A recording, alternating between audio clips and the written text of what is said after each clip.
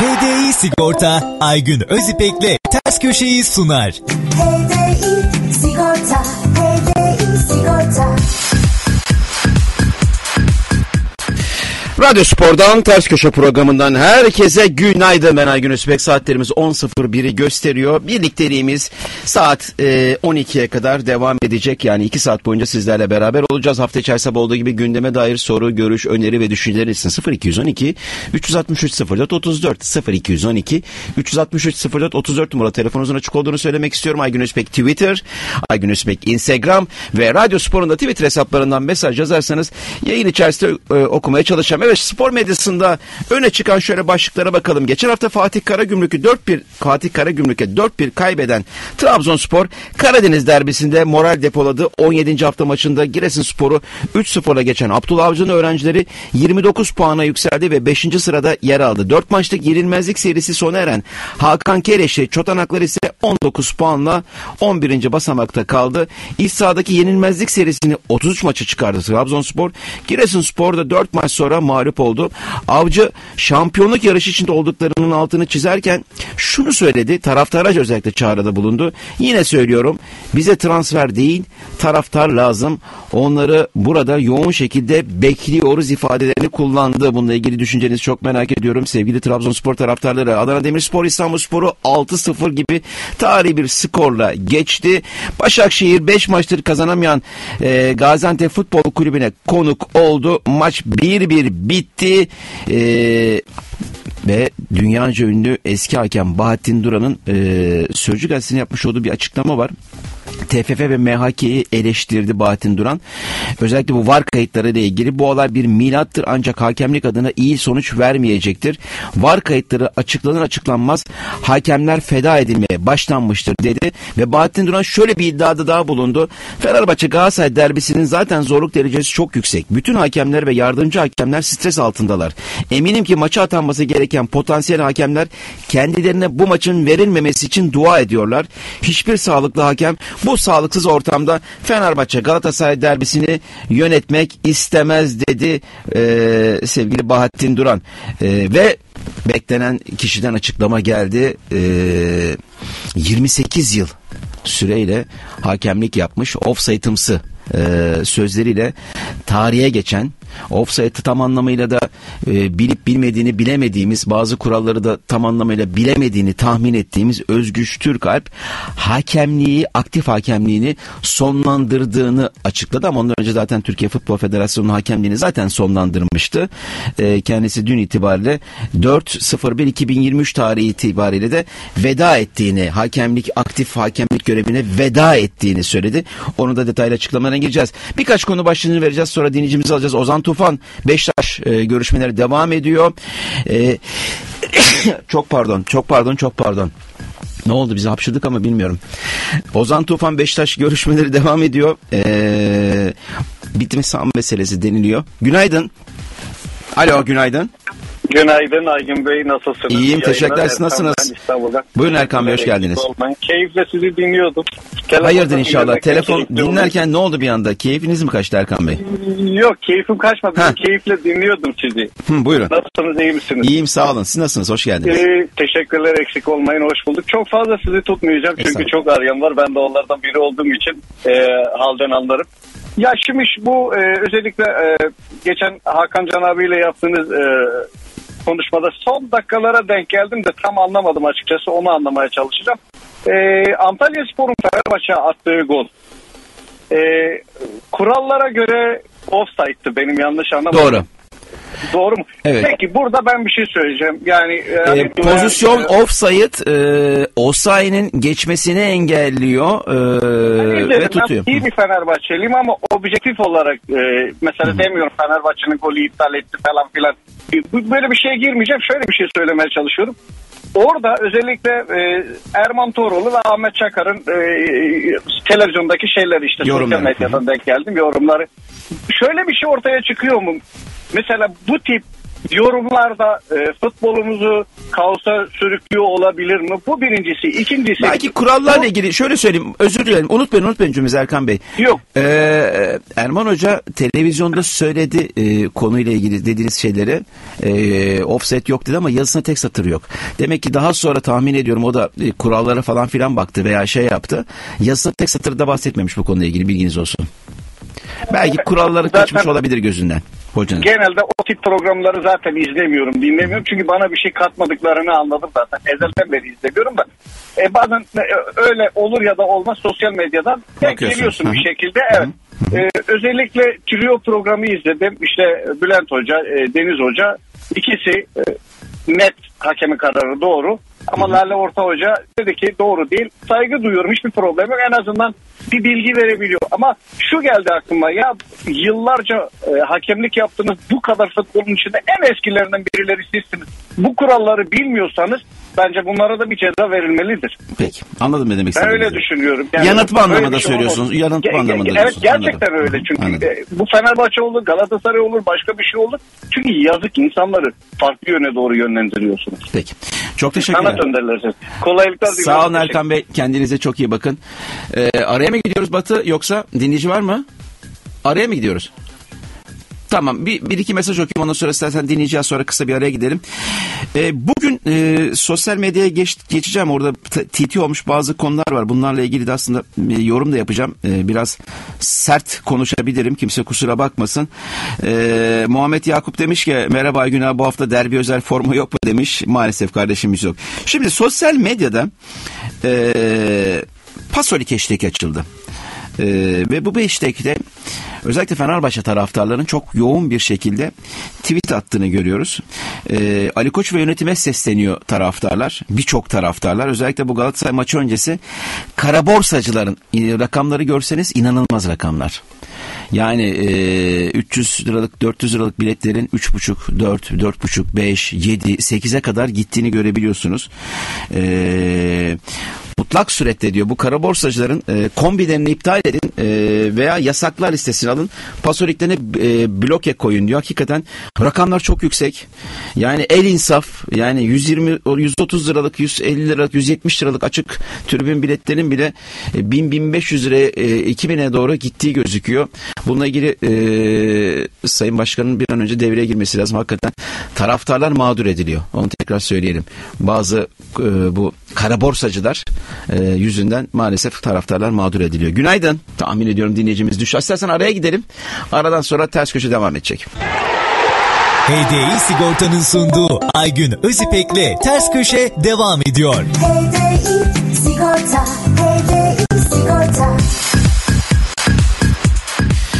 E, dün Futbol Federasyonu bugün de gördüm bazı yerlerde e, bununla ilgili tweetler var. Türkiye Futbol Federasyonu Başkanı Mehmet Büyükekşi'nin derbiye gitmeyeceğim demiş e, Sayın Büyükekşi. Yani böylesine önemli maça gidilmez mi? Niye gitmek istemiyorsunuz? E, gene orada bir sıkıntılı durum olacak. Var kayıtları ile ilgili problemler yaşanmasından çekindiğiniz için mi gitmek istiyorsunuz, istemiyorsunuz? Onu e, sormak lazım size. Günaydın. Günaydın Aygün abi merhaba kolay gelsin. Teşekkürler. Kimle görüşüyoruz? Yavuz ben abi Ankara'dan nasılsın abi? İyiyim Yavuz Bey. Sağ olun. Nasılsınız? Hoş geldiniz. Buyurun. İyiyiz abi teşekkür ederim. Ne zamandır bağlanamıyordum abi. Doğru. Ee, yeni yılın şimdiden kutlu olsun abi. Çok teşekkürler Yavuz. Öbür yıla geldik ama neyse. evet abi.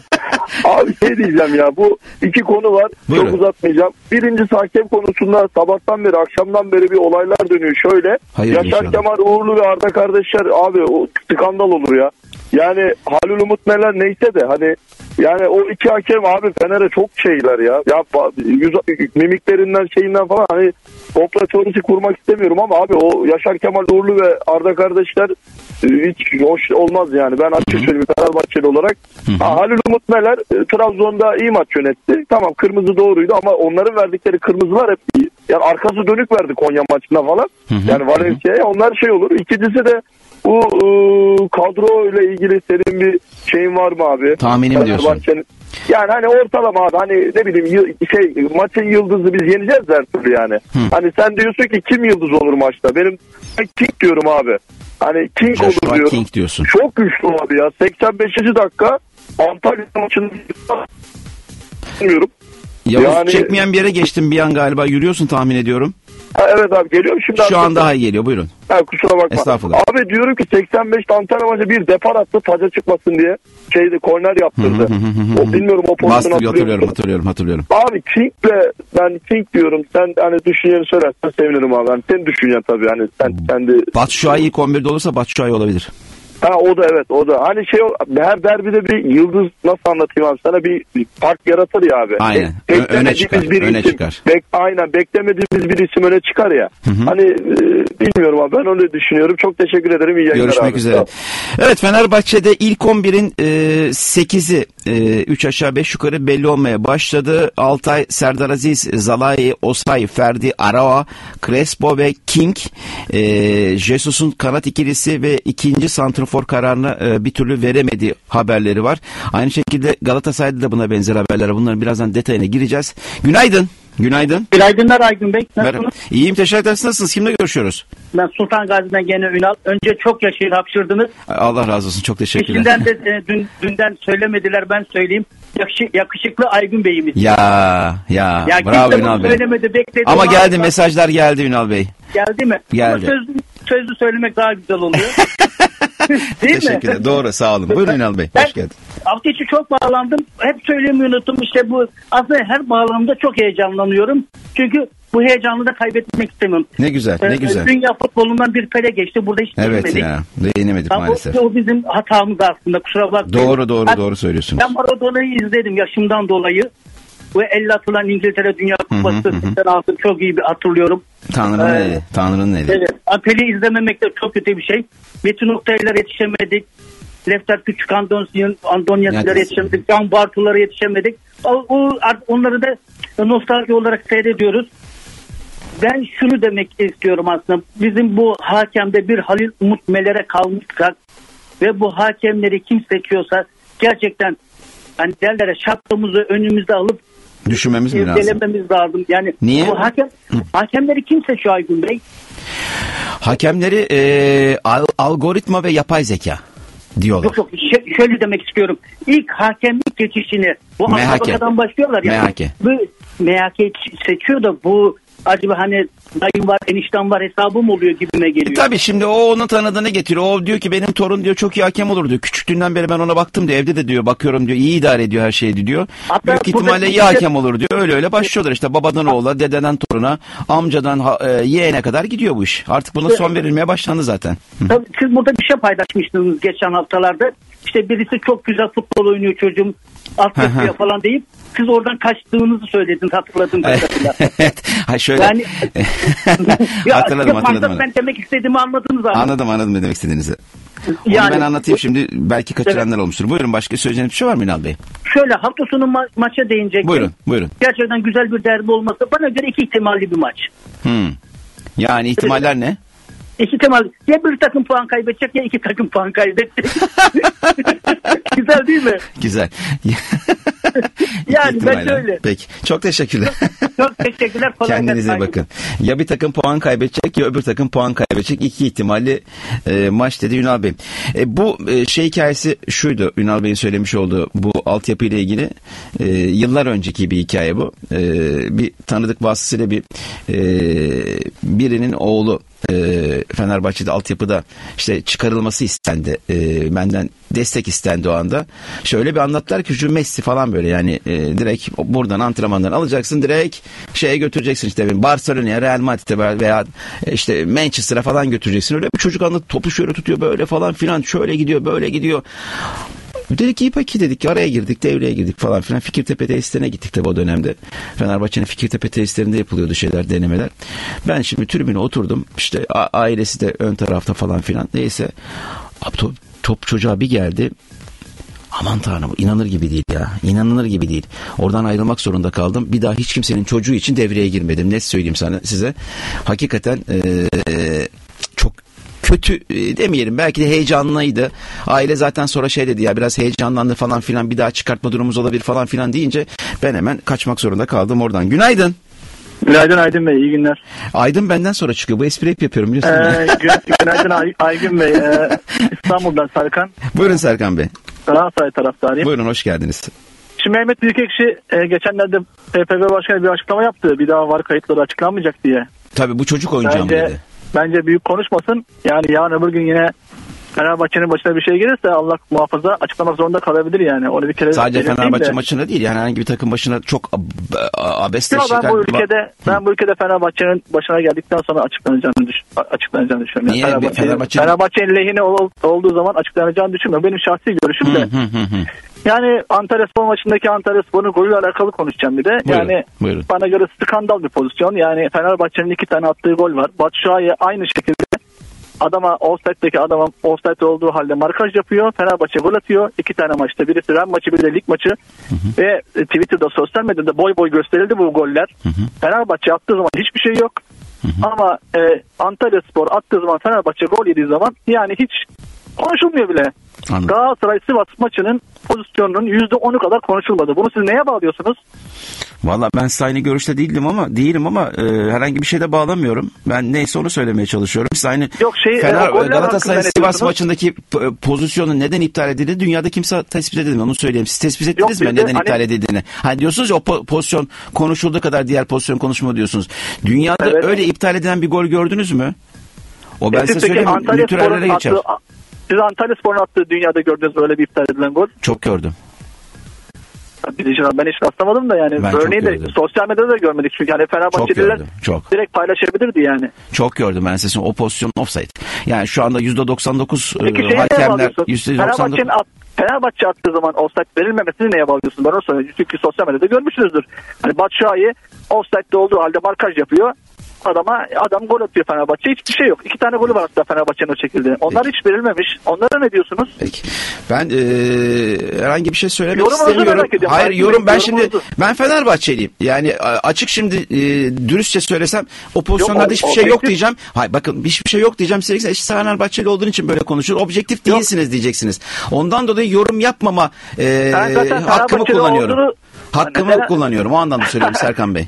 Ergin Bey yok ben o Fenerbahçe'de olduğunuz için zaten sizin görüşünüzü merak ediyorum yani. Ben onu Fenerbahçe- söylüyorum size bakın o pozisyonlarda hiçbir sıkıntı yok. Onu söylemeye çalışıyorum. Ama tabii şimdi diyeceksiniz ki kardeşim sen Yüksek Divan Kurulu üyesin 25-30 yıldır Fenerbahçe kongresin. Fenerbahçelisin. Üzerinde senin Fenerbahçe gömleğin var. Ondan dolayı böyle Yok, yok, hayır hayır şey düşüncenizde olabilir belki. Söyleyeceğinizden dolayı hiç olmazsa konuşmama hakkımı kullanmak istedim Serkan Bey. Tamam tabii saygı duyuyorum da ben Galatasaray'da ve bir de şöyle bir durum var. Galatasaray'da Ama şunu söyleyeyim. Yani Evet. şimdi demin söylediniz yani bu pozisyon konuşulduğu kadar diğerleri konuşulmadı diye.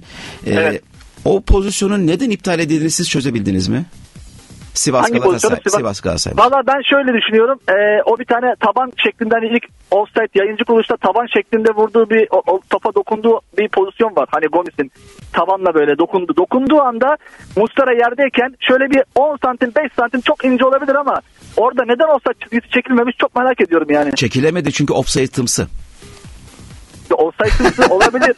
5 santimde olsa 2 santimde Hayır bir şey olsa söyleyeceğim. Yok offside yok. olabilir. Yok yok orada hiç offside yok. Bunu siz de Tamam, çok iyi offside- biliyorsunuz. Tamam o ha- hakem hatası, kural hatası değil. Hakem Tabii hatası. tabii hakem hatası. Onda kural hatası yok. Hakem, hatası da hatası ben tabii ki. Şunu bahsediyorum yani Fenerbahçe'nin lehine olduğu zaman bu ülkede kaos ortamı yaratılmıyor. Mesela Serdar Aziz kafa attı Trabzon'da. Trabzonlar ayağa kalktı Serdar Aziz kafa atıyor diye. Hiç var bile çağırmadı. Kart bile görmedi adam. Beşiktaş oldu şimdi. Beşiktaş'ın var kayıtları açıklanıyor. Kafa atmış kırmızı kart neden verilmedi? Ama Fenerbahçe yaptığı zaman kimse konuşmuyor. Konuşamıyor. Kimden korkuyorlar çok merak ediyorum. Valla bu hakemler Fenerbahçe'yi kolluyor olsaydı, MHK Fenerbahçe'yi kolluyor olsaydı, Türkiye Futbol Federasyonu Fenerbahçe'yi kolluyor olsaydı bu takım 8 yıldır şampiyon olamıyor. Ben kolluyor demiyorum ki. Hayır işte ama o noktaya diyorum. geliyor. Hani kimse Bak, konuşamıyor, kollamıyor. kart verilmiyor anlamına getiriyorsunuz Bakın, ya. kollamak- hayır hayır kollamak bak başka o, şey. ama şey tamam. O noktaya getiriyor. Hadi öyle kollamıyor demeyelim de işte kart göstermiyor diyorsunuz ya. E, Heh, 8 aynen, yıldır bu takım e 8 yıldır bu takım şampiyon olamıyor. E, Madem hakemler çok çekiniyor.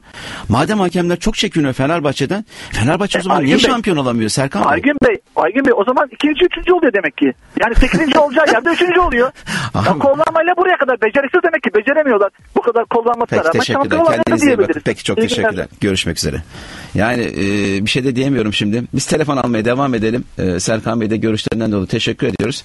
Becerip becermeme tabii ki o farklı bir şeydir. O Serkan Bey'in kendi görüşü.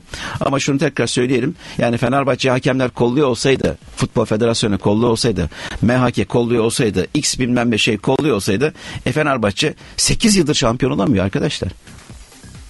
Günaydın. Günaydın. Merhaba kimle görüşüyoruz? Benim adım Murat Yiğit. Ee, Özür dilerim duyamadım. İsminiz? Murat. Ha Murat Bey hoş geldiniz. Murat Bey buyurun. Aydın Bey merhaba. Ee, şimdi ben demin e, radyoda bu Sivas Galatasaray maçıyla ilgili sürekli konuşulan bir konu var da. Benim anlamadığım şey bu Galatasaray'ı niye lanse ediliyormuş gibi algı yaratılıyor onu anlamıyorum. Sonuç olarak ilk kez mi böyle bir hata yapıldı? Ya Galatasaray lanse edilmedi. Pozisyondan dolayı maalesef Galatasaray'da o karambole Ama gitti. sürekli aynı şeyler söyleniyor ya. Bu e, sezon başından beri sürekli yapılan hatalar bu kadar konuşulmuyor. Tamam bu pozisyon hiçbir şekilde faal değil. Bence de net gol. Ama Faul değil, offside sürekli değil. Galatasaray'ın kullanmış gibi bir e, algı yaratılıyor. Algı yaratılıyor. Doğru doğru doğru. doğru. Yani bunu siz de yapıyorsunuz mesela. Ne zaman sürekli yaptın? e, siz mesela şöyle söyleyeyim sürekli sizi birisi arıyor diyor ki örnek vereyim Fenerbahçe'nin pozisyonu gol müydü değil miydi siz böyle dinliyorsunuz ya siz sürekli Sivas maçındaki o pozisyon dünyada hiç yok görülmeyen Hayır dedi ki bak şimdi bak yanlış şimdi tarafta olmayalım. Dedi ki Tamam, o pozisyonla zaten. ilgili o pozisyonla ilgili ben dedim ki yani o pozisyonla ilgili düşünceniz de dünyada böyle hep o pozisyon konuşuluyor hep o pozisyon o pozisyonla ilgili dünyada böyle bir örnek var mı dedim. O kolun normal. Siz böyle bir örnek yaşadınız mı? Gördünüz mü? Bakın Siz de bu söylüyorsunuz. Olmayacağım olmadığı anlamına geliyor mu? Hı? Ne? Ne anlamı? Yani benim görmemiş olmam bana soruyorsunuz ya. Hı hı. Ben böyle bir pozisyonu görmemiş olmam böyle bir pozisyon olmadığı anlamına geliyor mu? Olabilir. Hı hı. Yani şu anda bizim alt ligler dahil, Avrupa dahil, dünyada bir sürü lig maçları oynanıyor. Neler oynanıyor, neler görülüyor. Öyle enteresan sonuçlar oluyor ki mesela e, yani bir takım bir takımı 50-0'da yenebiliyor mesela. Böyle şeyler de oluyor. Şimdi bunu hani dünyada siz böyle bir pozisyon gördünüz mü sormanız bile bence Niye Ben bunu bunu- sorma hakkım yok mu? Bunu soramaz mıyım? Yani bunu sormam için sizden izin mi almam gerekiyor? Ben bir gazeteci Yok. olarak sorabilirim. Bunu her yerde de sorabilirim. Ama ben de bunun cevabı olarak böyle bir pozisyon olmuştur dünyada biz ben görmemiş olabilirim ama Olabilir tabii ki olabilir. Gelmez. Olabilir. Ben olabilir. de bu anlamda söylüyorum. Olabilir tamam saygı duyuyorum sizin görüşünüze. Olabilir Hani doğru ben- söylüyorsunuz. Doğru. Şey anlamında da değil. Dedin Bakın, ne demek istediğini anladım çok iyi anladım. Ben toplumda hani sürekli Ama bu pozisyonu ben getirmiyorum ki. Bu pozisyon var kayıtlarından Aynı sonra ortaya çıktı. ilgili konuşmuyorum. Murat Bey Bakın, genel tamam konuşuyorum. anlıyorum ne demek çok iyi anlıyorum. Ben zeki bir insanım siz de zeki bir insansınız. Ne demek çok iyi anlıyorum ben. Yaklaşık 34 yıldır da bu işin içerisindeyim. Neyin ne olduğunu daha cümle başına itibaren anlarım. Bu pozisyonla ilgili var kayıtlarını ben açıklamadım. Offside'ımsı diye bir kelime Türkiye'ye bu e, hakem üzerinden geldi. Bu o maçtan sonra operasyonlar yapıldı. Şimdi bunu konuşmayacak mıyız? Ay efendim Konuşalım. konu- e, konuşuyoruz zaman niye bu konuşuluyor Ama noktasına geliyor? algı olarak sanki Galatasaray korunmuyormuş gibi. Ama işte bakın ama şimdi ben Galatasaray korur Yani diye Murat Bey ben bundan rahatsız. e, tabii Galatasaraylar rahatsız böyle bir şey istemiyorlar onlar da. Ben de hemfikirim. E, Erdem Bey de çıktı. Çıkın açıklayın biz de bundan rahatsız dedi. Doğru mu? Çıktılar açıkladılar. E ben şimdi e, bu pozisyondan dolayı e, konuşmazsam mesleğime ihanet etmiş olurum. Konuşacağız. Bakın biz zaman konuşmasak şöyle- bakın bakın biz konuşmasak biz bunların üzerine gitmesek o Özgüç Türk diye denen hakem hakemliğine devam edecekti. O var kayıtlar açıklanmasaydı belki 2-3 maç ceza alacaktı. Sonra biz o şahsı gene maçlarda görecektik. Doğru mu? Doğrudur kesinlikle. tamam. Bizim ülkemiz zaten böyle bir Eh, ülke. iki tane daha hakem yanında gitti. Toplam üç hakem gitti. Alttan altı tane hakem çıktı. E bunları konuşacağız. Ben hala söylüyorum. Çıkacaksınız bundan sonra Sayın Mehmet Büyükekşi diyor ki benden sonra bu çocuk oynayacağım. Çık- çıkıp konuş açıklamayacağız diyor var kayıtlarını. Açıklayacaksınız. Mehmet e, Büyükekşi yani federasyon başkanı bütün o söyleyip de şeffaflık ıvır kıvır dediği her şeyde ihanet etmiş oldu. Bence açıklamaması gerekirdi aslında. Ama öyle bir kamuoyu baskısı yapıldı ki eee, mecbur kalındı. O zaman ertesi günde iki gün sonra da çıkıp bundan sonra açıklamayacağız. Çocuk oyuncağı Mı dedi, demeyecekti. Ama bundan sonra zaten şöyle söyleyeyim. Artık açıklamak zorunda. Ama bizim ülkemizin en büyük sorunu zaten liyakat sorunu değil mi? Yani işini bilen insanların mevkilerde olmayıp birilerinin yani bu Yardımıyla oraya Orada gelmesi. değil, dünya- yani bizim ülkemizin her alanında bu iş böyle döndüğü için Valla ben, Ben şöyle sadece söyle size söyleyeyim. söylüyorum. Bu a, a, galiba İngiltere'de ve İngiltere'de ve Almanya'da galiba birkaç kez açıklanmış. Yanlış biliyorsam beni düzeltin ne olursunuz. Hollanda'da Hollanda'da mı? açıklanmış. Evet. İngiltere'de açıklanmış. açıklanmış. Ha, o zaman İngiltere ve Hollanda zaman yanlış biliyormuş. Kusura bakmayın Almanya Ben değilmiş demek sadece ki. şunu söylüyorum. Bakın Aygün Bey sizi eleştirmek için de söylemiyorum. Ben e, genelde arabaya bindiğimde radyo sporu dinliyorum. Belki de siz ilk kez böyle Galatasaray maçını. Hani ben temlik pilavı gibi Ben, sürekli ben bu Galatasaray- konuyu açmadım ki ama. bu konuyu dinleyici açtı. Ben açmadım ki.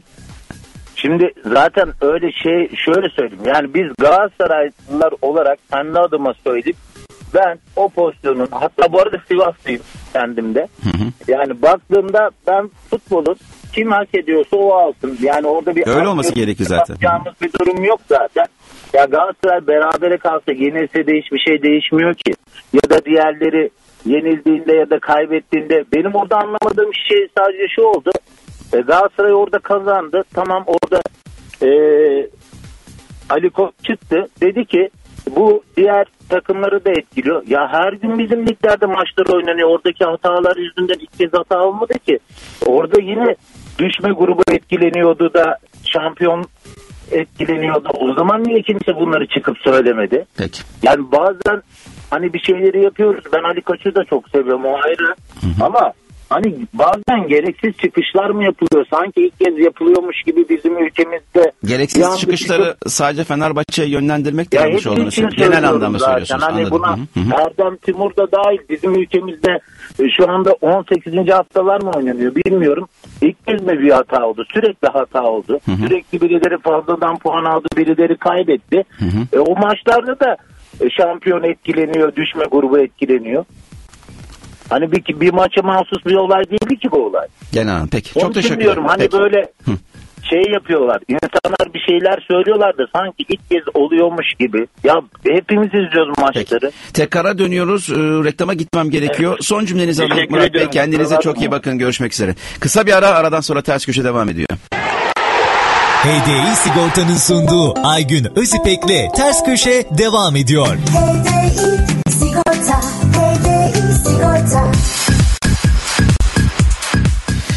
Evet. E, hatta bir dinleyicimiz varmış. Günaydın. Alo. Merhaba günaydın. Günaydın. Kimle görüşüyoruz? Serkan ben İstanbul'dan arıyorum Galatasaray Buyurun taraftarıyım. Serkan Bey. Nasılsınız iyi misiniz? İyiyim. Teşekkürler. Siz Nasılsınız? Buyurun. Ben de iyiyim. Ee, Aygün Bey ben yaklaşık 10 yıldır Galatasaray tribününde olan bir taraftarım. Hı hı. Ee, 10 yıl boyunca da... Niye bu kadar? ee, Kaç yaşındasınız? 30, 38 yaşındayım. Biraz geç gitmeye başlamışsınız maça. Nasıl? Biraz geç gitmeye başlamışsınız maça. 10 Ya, yıldır tribün- üniversiteden dolayı Ankara'da okuduk üniversiteyi. Ha, ondan dolayı. O yüzden Ha. gidemedik. Peki. Şimdi e, sıkı bir Süper Lig e, takipçisiyim. Bütün maçları izliyorum. E, burada öncelikle e, Sayın Mustafa Cengiz'i rahmetle anmak Allah rahmet eylesin. Ee. Mustafa. Cengiz amin. Ee, rahmetli çıkıp dediği zaman e, bu hakemler kurayla seçilmeli. Ee, bu hakemleri e, gerekli Onu Ali Bey de söyledi hakem- biliyor musunuz? Bir torbanın içine koyun hakemleri dediler. O dönem ben de hatırlıyorum. Ee, Sayın Başkan da rahmetli başkan da. Ama maalesef e, orada da şu şıkkı konuşuldu. A- Açım, açığa söyleyeyim ben size. Bu şeyler vardır bilirsiniz bu. Tombala mombala bu sigara migara bilmem ne izler bilmiyorum gördünüz mü Evet, böyle. evet, evet, evet, Ee, evet, tasvip evet. etmiyoruz tabii ki bu sigara kötü bir Evet. alışkanlıktır. Orada da mesela dediler ki bana bu iki torba vardır içinde dediler. Ee, ondan dolayı şöyle, şeyi kazanma ihtimali yok. Oraya geliyorum. Yani burada da olabilir diye e, düşünceler oldu o dönemde. Onu söylemek Evet, istedim. yani, kesinlikle haklısınız ama burada teknolojik sistemler doğrultusunda bu iş yapılabilir miydi? Yapılırdı. Fakat... Ha, Şu an teknolojik sistemlerde de bu iş yapılamıyor e, Serkan Bey. Evet ya şu anda yapay zekaya geçilecek deniyor. Ee, rahmetli Algoritma ve yapay zeka. Cengiz Hı hı. Evet e, o, oraya geliyor mevzu ama e, burada rahmetli Cengiz Başkan bunu söylediği zaman Sayın Mustafa bir Cengiz. gecede Hı hı. evet e, bir gecede o 17 başkanı arayıp hakemler de hata yapabilir denilen bir dilekçe oluşturulmuştu hatırlıyoruz değil mi bunu? Evet, evet. O dilekçeden Ee, sonra şimdi- 6 hafta boyunca hakemler de konuşulmasın diyenlere de e, destek verenlere de hatırlıyoruz. Doğru söylüyorsunuz. Evet ama şimdi şöyle düşünün bakın ben diyorum ki şu adam hata yaptı siz de bana diyorsunuz ya evet yapabilir. Ondan sonra o adam bir daha hata yaptığı zaman sizin kalkıp bana ya bu adam hata yapıyor demeniz abesle iştigal değil midir? Yani şimdi benim burada bir tutarsızlık seziyorum. Ee, konuşulan pozisyona gelince net gol Sivas Spor'un golü. Ama sadece ben size burada tek bir soru sormak istiyorum. Fenerbahçe'nin bahsedilen offside pozisyonunda çizgi çekilmeseydi yaklaşımınız ne olurdu? Var kararı açıklansın, e, Size şöyle söyleyeyim mi? Ne söyleyeyim? Ben e, ne söyleyeyim? Ee, ben e, o maçı şeyde e, bir yerde izledim, mekanda izledim. Ben gol gördüm. Açık ve ne söyleyeyim. Yani e, daha sonra çizgiden sonra ve e, bazı kuralları öğrendikten sonra yorum yapmaya başladım. Hemen balıklama atlamadım başkaları gibi size söyleyeyim. Başkaları Kesinlikle. balıklama Ben- atladı çünkü. Şöyle söyleyeyim ben bir Galatasaray taraftarıyım. Tek dinlediğim Fenerbahçe. Ve hatta dedim ki ne gol attı adam dedim ya. Şunu da söyledim ne gol attı dedim. Ve şunu da söyledim o arkadaş orada nasıl boş bırakıldı diye cümle kullandım. Ama daha sonra e, işte e, yorumları dinledikten sonra pozisyonla ilgili hakemin şeyi orta hakemin e, futbolculara anlatmasından sonra sonra sonra sonra olayı çözdüm. Ne demek istediğimi anlatabildim Ve mi? Anladım. Sadece size şu konuda hani e, bir öneri sunmak istiyorum. Buyurun. Nacizane. Mesela. Özgür Türkalp e, bıraktı. Doğru bir karar dediniz. Bu, bunun gibi hakemler bırakmalı dediniz. Ben sadece birkaç cümlede sizden Ali Palabıyık denen şahıs hakem için istiyorum. Ya bir şey söyleyeyim Neden istiyorum size. bunu? Şey Hatırlıyor söyleyeyim. musunuz? E, Galatasaray maçındaydım. Ben sık hatta kafayı yedim. Feguli'nin ayağına basılıp Fenerbahçe Galatasaray maçı 2-2'ye getirildi. Ee, ve hiçbir şekilde VAR'a çağrılmasına rağmen VAR'a gitmedi. Pardon o gün e, VAR açıklanmaması e, çok büyük yasaydı kanundu da bu kanun bugün mü kalktı yoksa bir yerlerden emirler mi geldi bu ya da Çok büyük bir kamuoyu baskısı oluştu. Şimdi öyle bir pozisyon ki Serkan Bey o pozisyon. Yani neyin ne olduğu çözülemedi. Yani herkesin konuştuğu, Haklısınız, tartıştı haklısınız. ve inanılmaz bir kamuoyu baskısı oluştu. Bütün kulüpler Peki, çıktı. sizce- Ee, Serkan Bey bütün kulüpler çıktı Evet. dedi ki çık açıkla kardeşim dedi. Beni ikna et dedi. Peki. Doğru mu? Peki, Galatasaray çıktı. offside- Sivas çıktı. çizgisi çizilseydi e, Sivas Spor maçında. Çizilemedi işte. Hayır mesela çizilmiş Ha çizilseydi tabii ki o zaman kafalarımıza soru işaretleri giderdi. Ama bu doğru bir yaklaşım değil ki. O zaman siz şunu diyorsunuz. Çizgiyi çekin, hata olsun biz Hayır bir dakika edelim. çizgi Çizgiyi bakın çizgiyi çekseydi o zaman biz neyin ne olduğunu görürdük doğru mu? Ben öyle bir şey demedim size. Çizgiyi çekseydi biz neyin ne olduğunu görürdük. Ama orada çizgi de çizilemediği gibi offside yok. Şimdi offside şu bakın o konuşmalara baktınız dinlediniz değil mi Serkan Bey? Tahmin ediyorum dinlemişsinizdir. Tamam, tamam, diyor ki sen offside ver diyor. Ben diyor sana göstereceğim pozisyonu diyor. Doğru mu? O cümleyi hatırlıyor Ya musunuz? ben orada mesela ben o offside değil ama Nelson'a yapılan şarjın, e, Robin tarafından şarjın, yapılan şarjın faul olduğunu düşünen bir insanım. Çünkü ellerini direğe tutmuş bir insanı hala daha sağ dışına iterseniz bu fauldür. Belki Nelson orada ayağını koyup topu kesecekti. E, ve orada bakın bak, ilk zaten- kez böyle bir değişik bakış açısı geldi. Bilmiyorum ben bu- bunu ilk kez duydum. Yani Evet, orada ben hatta Nelson'a orada- bir şey olduğunu Va- görmedim ama. Yo yo VAR konuşmasını dikkatlice dinlediğiniz zaman Erkan Özdamar'a Özgür, Ö- Özgür Ç- e, Türkalp şunu söylüyor. Diyor ki orada Nelson'a da bir müdahale var dışarıya doğru itiliyor diyor. Ee, Erkan Özdemir diyor ki "Fo- offside'sa zaten buna gerek yok diyor. Offside var mı diyor. Var denilince de o konuşulmuyor. Orada zaten Offside var, offside'dan ver diyor. E, offside'ımsı diyor sonra falan filan. Ben sana o görüntüyü Aynen öyle. göstereceğim diyor. Offside'ımsı Ama o deniyor görüntü yok. gidiliyor. Aynen, o görüntü ve- yok. Yani burada neresinden tutsanız şu Tabii anda canım, Türk sporu skandal, hakemlik rezalet, açısından rezalet, rezalet. e- e- elimizde kan. Biz sürekli hakem konuşuyoruz. Futbol konuşmuyoruz. söylüyorsunuz, doğru, Ee, doğru. Ben şeye de katılmıyorum yalnız. Onu da söyleyeyim. Hani Fenerbahçe kollansaydı 8 senedir şampiyon Yani oldu. diyor ya Geçen- şimdi diyor ya işte yok Fenerbahçe'nin şu maçı bu maç deyince e şimdi bir takımı bu kadar hakem üzerinden şey yaparsanız ben derim o zaman Fenerbahçe Haklısın. kullanıyorsa Serkan Bey o zaman Fenerbahçe Evet. niye şampiyon olmadı? Ya, ya, ama ben şunu söylemek istiyorum. Yani geçen sene Sivas maçında Fenerbahçe 2-0 yenilmeseydi e, Fenerbahçe zaten şampiyondu. Sivas maçında Doğru. hakem mi kolladı? Doğru doğru orada evet Hayır, başkan başkan Fenerbahçe- çıktı maçtan sonra çıktı soyunma odasına gitti futbol. Biliyorum o, orada Fenerbahçe Evet, ne yani yapacaksın orada ne edeceksin o Fenerbahçe- çimi yiyeceksin. Onu bunu söyledim ben burada da. O çimi gerekirse yiyeceksin o maçı alacaksın. Evet kesinlikle orada yani bunu dedikten sonra hakem kolladı kollamadı Fenerbahçe burada kendi becerememiş oldu. Doğru. Şampiyon olamamış oldu. Doğru, Yani doğru, bunun da hakkını doğru. vermek gerekiyor. Doğru doğru. Ama- bunu konuştuk zaten biz o dönemde Serkan Bey. Ben sadece şu anda Galatasaray üzerinden bir linç kampanyası yürütüldüğünü ve hafta sonraki maça bir kamuoyu algısı oluşturulmak istendiği düşünen bir taraftarım. Ee, bunun artık e, son bulmasını istiyorum. Ee, çünkü hani bu futbola da yakışmayan bir şey. Eğer biz bunu konuşacaksak Oliveira'nın ayağına basılmayı, bu sene verilmeyen kaç tane penaltımız Ben size söyleyeyim bütün takımlarda bütün lazım. takımların ayaklara basılmalar yüzlerce çıkar ben size söyleyeyim. Verilmeyen kartlar yüzlerce çıkar. Kesinlikle çıkar ama yamuk bir çizgi çekildiğinde neden bu çizgi böyle çekildi? E, aa offside varmış burada deniyor ama çizgi çekilmediğinde bir linç kampanyası oluşturuluyor. Bu e, sadece algı yönetimiyle alakalı Peki bir şey olduğunu teşekkürler düşünüyorum. çok Teşekkür mersi. Sağ olun kendinize sağ olun çok mersi. Evet Seyit Ömer Özen Aygün abi var kayıtları açıklansın. Eğer açıklanmıyorsa var kararları doğru mu diye denetleyecek ikinci bir var kurulsun. Anca temizlenir bizim ligimiz demiş. E, bu ikinci varın da bu sefer konuşmaları isterlerse ne yapacağız? E, Çıkacak diyecekler ki e, bu ikinci varın da konuşmalarını çıkartın bizi. Burada da bir sıkıntı var diyecekler.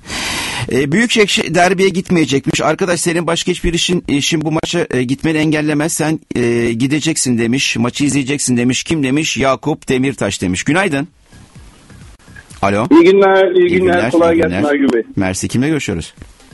Ee, ben Engin, İstanbul'dan arıyorum. Yaşım 47, Beşiktaş taraftarıyım. Bir Beşiktaşlı Ee, arkadaş. Bugün Galatasaraylılar yoğun bir baskı altında kaldı. Fark ettin mi Batı? Bir Beşiktaşlı arkadaş biraz nefes alalım. Buyurun Engin Bey. Buyurun. Yani şimdi e, şunu söylemeye çalışıyorum. Tanışacağım size. Buyurun. Ya, Ses gidiyor Engin Bey. Seviyorum. Engin Bey ses Ee, gidiyor. Çekmeyen bir yerde misiniz? Beni sevdiğinizi duydum ama diğer kısmı duyamadık. Şimdi Daha iyi, mi? daha iyi. Sonra diyorlar ki Aygün Bey ters bir şey olduğu zaman atıyor diyorlar. Öyle bir şey yok. Veya attan çıkartıyor diyorlar. Öyle bir şey yok. Buyurun Engin Bey. Çok özür dilerim. Estağfurullah, herkesten, estağfurullah. Olur mu öyle şey? Buyurun. Ee, Kibar kibar geldiğinize göre sert bir eleştiri geliyor. Buyurun. Hayır, kesinlikle. Sizinle e, kurumunuzla ilgili herhangi bir eleştirim yok. Sizin de bu sporun içinde olduğunuzu, bu sporun e, emektarı olduğunuzu, Hı hı. Evet emektar olduğunuzun farkındayım. Aynı zamanda taraftar olduğunuzu da biliyorum. Fakat kesinlikle inanmadığım şey sizin burada herhangi bir şekilde e, fanatiklik yaptığınız, Hı. sizin de diğer arkadaşlarınız. Kesinlikle ben Teşekkür buna ederim. inanmıyorum ve Teşekkür katılmıyorum. ederim. Teşekkür ederim. Sağ olun. Ben 12-13 yıldır sizi dinliyorum. Elimden geldiğince, mümkün olduğunca sizden tek bir ricam var. Lütfen Buyurun. E, şuraya çıkıp da sizi şu anda dinleyen ben öyle tahmin ediyorum ki ortalama olarak 5-6 milyon insan dinliyordur canlı olarak. Doğrudur. Doğrudur. Lütfen, lütfen fanatik olarak konuşan takım önemli değil. Böyle insanları sizin tecrübeniz var. 35 yıldır bu işin içindesiniz. Ya Engin Bey o zaman da şöyle oluyor. Ne oluyor biliyor musun? İşte niye attın sen bizim arkadaşımızı? Ee, o noktaya niye getirdin? İşte sen şöylesin, sen böylesin gibi gibi gibi ondan sonra da yüzlerce telefon geliyor. Ve e, cep telefonuma e, özellikle Twitter ve Instagram'dan gelen DM'den gelen küfürleri burada e, göstermeye kalksam yemin ediyorum yazı dizisi olur. Hakaretleri. İşte bizim insanımızın kalitesi bu olduğu için aldığınız tepkiler de doğal olarak o. Biz de yaşıyoruz bunları. Ama ben rahatsız oluyorum. Efendim yani e, biz herkesin kendi görüşü olmak zorunda ki vardır da. Fakat doğru bir tanedir. Siz şimdi benim görüşüm o öyleydi bu böyle. Ama kardeş bu işin e, nasıl diyeyim e, bir laf vardır yani kompetanı olan insanlar kardeş bu böyle diyorsa ben ona itimat etmek zorundayım. Benim görüşüm olabilir. Şimdi şu da var ama Engin Bey tamam. Taraftarlık yapabilirim. Doğru. Şu da var mesela bu dediğinize katılıyorum ama bu e, hadi ben ombusman diyeyim bazen hadi siz farklı bir şey kullandınız. Ben ombusman Evet, anlamında es, hayır hayır estağfurullah estağfurullah olur mu öyle şey? Ama ombusmanlar da kendi aralarında çek, şey, şey yapıyorlar, çekişiyorlar, çelişiyorlar. Şimdi iki tane ombusman e, o diyor kardeşim diyor sen diyor televizyonda diyor bunu.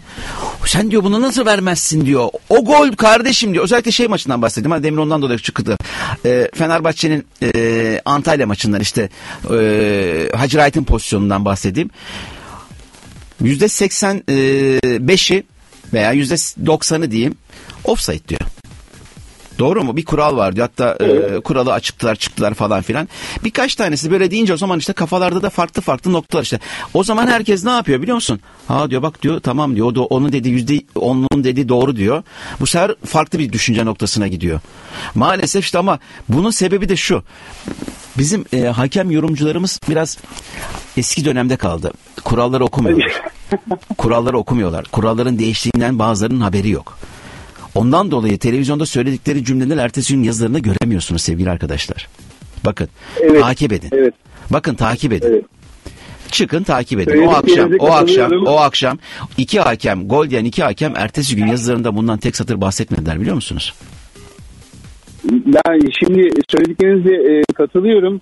E, fakat ben bu insanların sizin tabirinizle ombusman olduğunu da düşünmüyorum. Ha, gene Çünkü- şey anlamda söyledim. Yani yılların verdiği Ha. tecrübe anlamında söyledim. Farklı bir şey de olabilir. Buyurun, Anlıyorum. saygı duyuyorum size Engin Bey. Buyurun. Anlıyorum. Ben şu açıdan söylüyorum. Şimdi bu işin gerçekten emektarı olan, gerçekten bu işten e, para kazanan, e, işte bu işte sözü geçen insanların bakın iş diye söylüyorum. Neticede siz orada bir Tabii ki bunun karşılığında bir para alıyorsun. Bu bir iştir. Bu, bir, bu, bu, bu da bir sektör. Yani- bu iş. Doğru.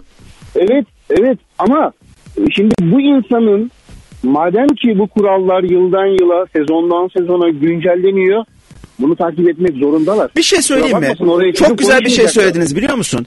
Bu kurallar değişiyor doğru mu? Ve peki buradan MHK'ye seslenmemiz lazım. Hakem yorumcularını niye almıyorsunuz seminerlere? Gelmeyen hakemleri televizyonlara çıkartmayın. Televizyona çıkmış olsa bile herkes Hayır hayır şunu size söylüyorum. Neticede- Hayır hayır hayır başka bir şey söylüyorum. Kurallar değişiyor ya. Kurallar değişiyor. Alın bu hakem yorumcularını değişen kuralları anlatın.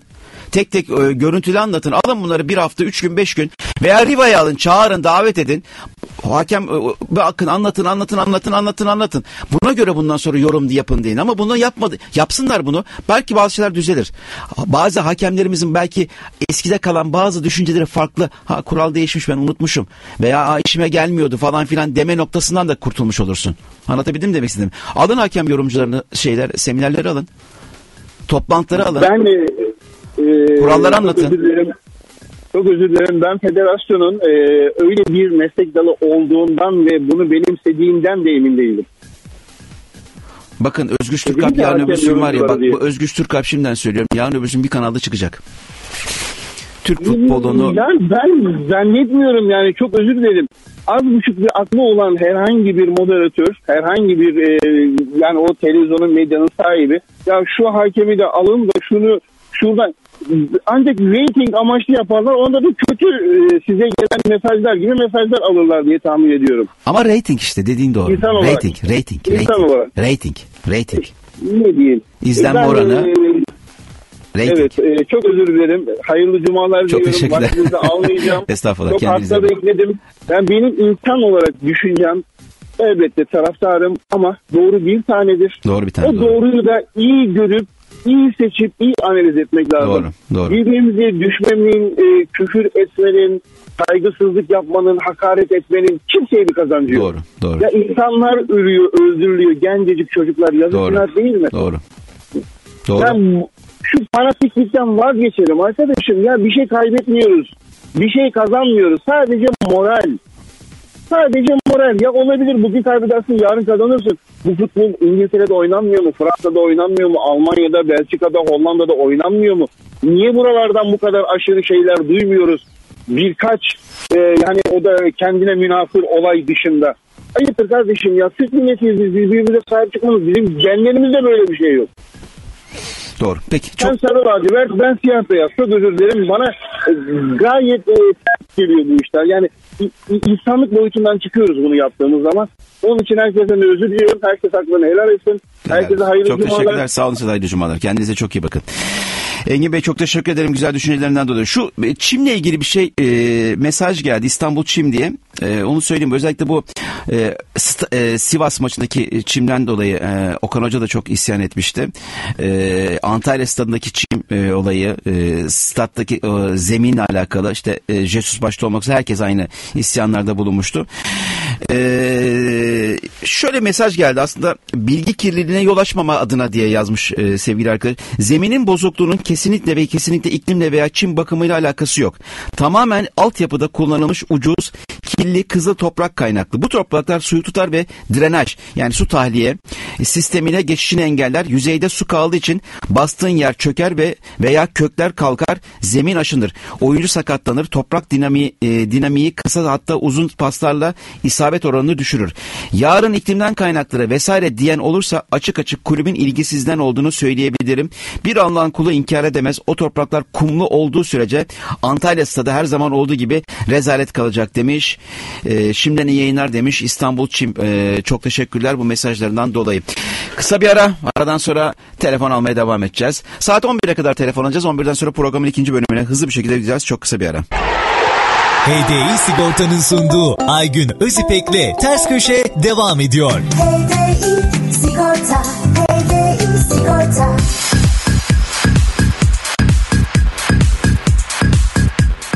Uğur, Uğur Pekşen, e, günaydın Aygün abi. Baba Hızır köyü çok soğuk. Sobanın dibine kadar yaklaştım.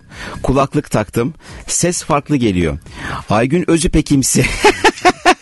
Aygün Özüpekimsi bir ses geliyor. Geçmiş olsun demiş sevgili Uğur kardeşimize çok çok teşekkür ediyoruz. Günaydın. Günaydın. Merhaba. günaydın. Ga- Gaziantep'ten abi. Buyurun Adem Bey hoş geldiniz. Abi 7 dakika bir, 8 dakika bir, 9 dakika bir, 10 dakika bir. Ne o? Ar- arayan Galatasaraylı kardeşlerimiz. Ya süre Öyle- anlamında mı? Konuşma Süre anlamında mı? anlamında. Ben 2 dakika konuşuyorum, onlar 9 Açtık. dakika konuşuyor. Açtık. 10 dakika buyurun. Ee, ben de, ben de meramımı dile getireceğim. Buyurun, Abi, buyurun. sanki dersin ki algı yapılıyor. Ya kusura bakmasınlar da. Yani bir e, Aygün Özbek şurada bir program yapıyor. Arıyor. E şu olsaydı nasıl olurdu? Bu olsaydı e, biz de dinliyoruz, biz de izliyoruz. Şayet bu Sivas maçındaki pozisyon Fenerbahçe maçında olmuş olsaydı vay halimize. Valla onu ben söylemedim. Söylemek istemedim biliyor musun? Gerçekten. Yer yerinden oynardı. Açık söylüyorum. Yemin ediyorum ya. Yani tabii Galatasaray bir- açısından da şu an yer yerinden oynuyor. Galatasaraylılar da haklı. Hakikaten Abi o şimdi tamamen tamam. o pozisyona bağlanmış vaziyette. Sanki Galatasaray kullanıyormuş gibi noktaya geldi. Onlar da haklı. Ama Fenerbahçe'ye olsaydı gene aynı şekilde yer yerinden oynardı. Beşiktaş da aynı şekilde. Doğru. Aygün abi anlıyoruz. Biz de izliyoruz. Ben bu konu arayan arkadaşlarımız özellikle hani üstüne üstüne geliyorlar ya. Evet. Ba- bana neyi hatırlatıyor? Aziz Yıldırım'ın bir lafını hatırlatıyor. Ya kusura bakmayın ya. Kusura bakmayın orada durun ya. Bir yöneticiniz ligin başına çıkacak diyecek ki biz bu ligi bitirmeyiz. Ve pozisyon senin e, maçında olacak. Bu olaylar Fenerbahçe'nin yöneticisi çıkacak bunu konuşacak. Fenerbahçe ba- maçında bu gol iptal olacak. Ben gerisini düşünemiyorum zaten. Gerçekten düşünemiyorum. Yani bu kadar gel, bir insan üstüne gelmez. Ben yani senin açından söylüyorum. abi. Genel an- anladım, anladım. Ben burada sen burada bir e, yayın e, sunuyorsun. Herkese bir fırsat veriyorsun. Konuşun konuşun diye. Bu kadar da olmaz yani. Biz her gün bağlanıyoruz. Tatlı tatlı kimseyi kırmadan. Ama bir insan üzerine de bu kadar gidilmez ya. Gelmeyin kardeşim benim üzerime bu kadar. Gelmeyin. Şunu Cüneyt. Arkın'ın böyle seslerinden bulmak lazım. Araya fragman koymak Evet. lazım öyle. Şunu söyleyeceğim. Buyurun. Ee, Fenerbahçe Galatasaray maçının derbi hakemi kim abi? Allah yardımcısı olsun. Bak açık kim- söylüyorum sana. Kim- Halil Umut abi? Halil Umut Halil. Umut Meler. Türkiye'nin en kıdemli iki tane e, yan hakemi var değil mi? Bir zaten Antalya maçında. O Alex Taşçıoğlu muydu? Hı hı hı hı hı. Ben yardımcı olaraktan Alex Taşçıoğlu Hmm, ve Bahattin şey. Duran. Bahattin Duran. Bu ikisinin olmasını isterim abi. Varda kim olursa olsun bugün Cüneyt Çakır'ın Cüneyt Çakır olmasındaki en büyük e, iki ekolden bir ikisi de birisi Alex Taşçıoğlu birisi Bahattin Duran. Ben bunu Anladım. e, şey etmenin gereği yok. Şunu söyleyeceğim abi kapatacağım aslında iki dakika dedim. Yo, yo, sıkıntı yayını yok, ben sıkıntı yok. bitireyim dedim. Yayını Sıkıntı ben yok. bitireyim dedim. Buyurun. Ee, arayan arkadaşlarımız da var.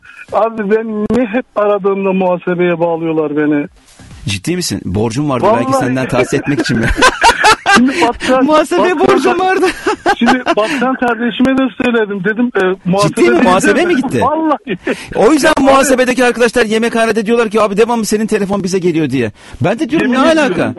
Alaka? Olabilir. Vallahi. Hat çok yoğun o zaman e, muhasebeye Abi- düşüyor. Doğru söylüyorsunuz doğru. Arıyorum Hakan Bey diyorum kusura bakmayın burası muhasebe. Abi seni seviyoruz. Çok teşekkürler. Kendine iyi bak. Sağ olun Hayırlı Adem Bey. cumalar. Hayırlı cumalar size. Şimdi e, bir dinle var mı dinleyicimiz? Alırız şimdi şunu da söyleyelim. Ondan sonra son dinleyiciden sonra da araya gideceğiz. Şimdi algoritma ve e, yapay zeka. Şimdi buraya zaten bilgileri bir insan yüklüyor.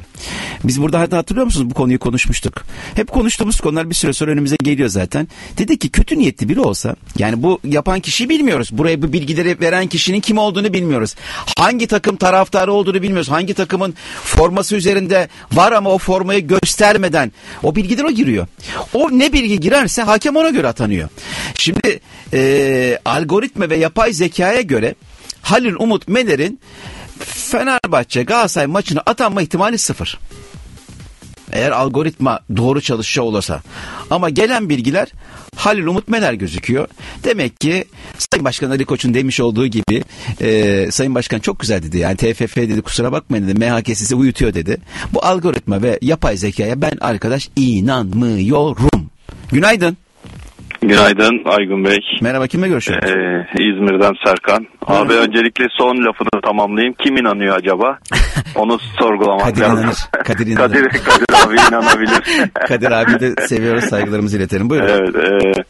E, Valla e, abi Beşiktaş taraftarıyım ben. Biz zaten geride kaldık birazcık. Artık yani e, pek de bir şansımız Ya şöyle söyleyeyim e, daha çok uzun maçlar var ya. Uzun Yani- uzun ama görüntü öyle gözüküyor Aygun Bey. Hmm. Işık yok diyorsun yani ışığı göremiyoruz diyorsun. var ışık var Şenol Hoca varsa ışık vardır her zaman ama e, biraz geride kaldık. Ama benim bir e, nacizane Fenerbahçe camiasına şeyim olacak. Galatasaray'a dikkat etsinler. Ne anlamda? yani enter, çok enteresan işler oluyor. Yani ben Emre Kılınç'ın kaçırdığı golü inanamadım. Yok ya orada bir art niyet yok ben size söyleyeyim yok yok yok öyle bir ya bu topçular e, kulüplerine ihanet etmezler yani yemek Abi ekmeklerine peki- ekmek yedik ya ben onlara inanmıyorum ya e, sakın Hayır o, yanlış o anlamayın. tamam onu o tamam. Onu Olabilir. Ya öyle bir çizginin üzerinden çizgide artık vurduğun zaman böyle dokunduğun zaman gol olup da atamayanlar var yani. ama şöyle bir şey var. de var. Abi dikkat ettiniz mi bilmiyorum Aygun abi. Çok sert vurdu. Ee, Beşik- yani ben şu çok sert de vurdu. İyi Fener- de vurdu ama vursa yani bulsa e, çıkarması mümkün değildi Be- zaten. Hı. Beşiktaşlı Fenerbahçeli oyuncuların kira, takımın Beşiktaşlı Fenerbahçe takımının kiralık oyuncuları rakip olduğu zaman enteresan mücadele veriyorlar. Hatta sözleşmesini feshedecek kadar bir sonraki sezon. E, Ölümüne bir savaş. Doğrusu da bu zaten. Doğrusu bu. Yani Galatasaraylı futbolcu, kiralık futbolcu ben ne zaman izlesem yani bir Ama o Taylan zaman gol ama attı. bir Taylan'ın golünü gördün o zaman. Aynı aynı mantık o zaman Taylan'ın da atmaması gerekirdi. Hayır hayır attı tamam onda sorun yok ama bir suçluluk psikolojisi bürünüyor futbolcular. Bir Yani böyle şöyle yani sevinmediği zaman şimdi tabii eski takımı sonuçta e, tekrar döneceği takım ama Taylan'ın pozisyonu hakikaten e, çok zor bir pozisyonda gol attı Taylan'da. Ya çok zor zaten pozisyondu. vurdu onu da yani o topta nasıl girdiğini biliyorsunuz. Hani böyle gol olsun diye sanki bir vuruş değil de vurdu tabii kaleye gitti top. Kaleye vurdu ama Enteresan. çok çok enteresan yani vurdu çarptı falan Mustera falan çıkaramadı falan yani Ya- e, hı.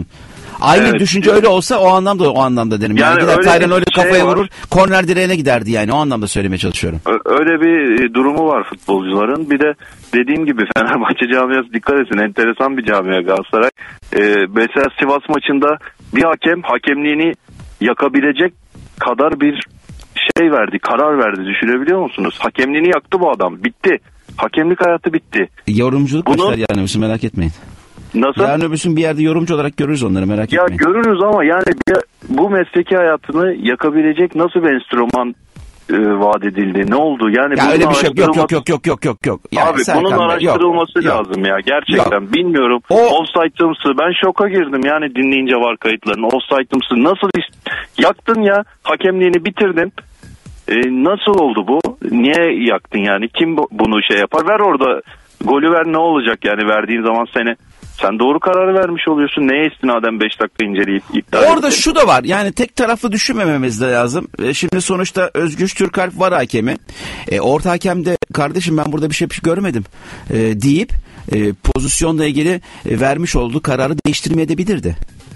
Evet. Ya tek Yani- taraflı yüklenmemiz de yanlış olurdu. Anlatabildim demek istediğimi? Enteresan işler oluyor Aygün Peki. abi. Ee, yani bilmiyorum. İnşallah bu lig böyle hafta sonu da derbi izleyeceğiz. Ben Evet. sert bir maç bekliyorum. Gergin, kırmızı kartların olacağı bir maç bekliyorum. Kırmızılar havada uçacak diyorsunuz. Peki çok teşekkür Bence öyle, bence öyle. Peki. Çünkü bu gerginliğin sonu oraya gidiyor. Ee, inşallah hak eden şampiyon olsun. Söyleyeceğim bu ama Peki. hak eden olsun. Kim Doğru. oluyorsa hak, Hak eden, eden olsun. olsun. Önemli olan o. Her şey adil yürüsün. Gerisi önemli değil. Peki. İyi çok, yayınlar çok abi. teşekkürler kendinize bakın. Kısa bir ara aradan sonra ters köşe devam ediyor. HDI Sigorta'nın sunduğu Aygün Özipek'le Ters Köşe devam ediyor. HDI Sigorta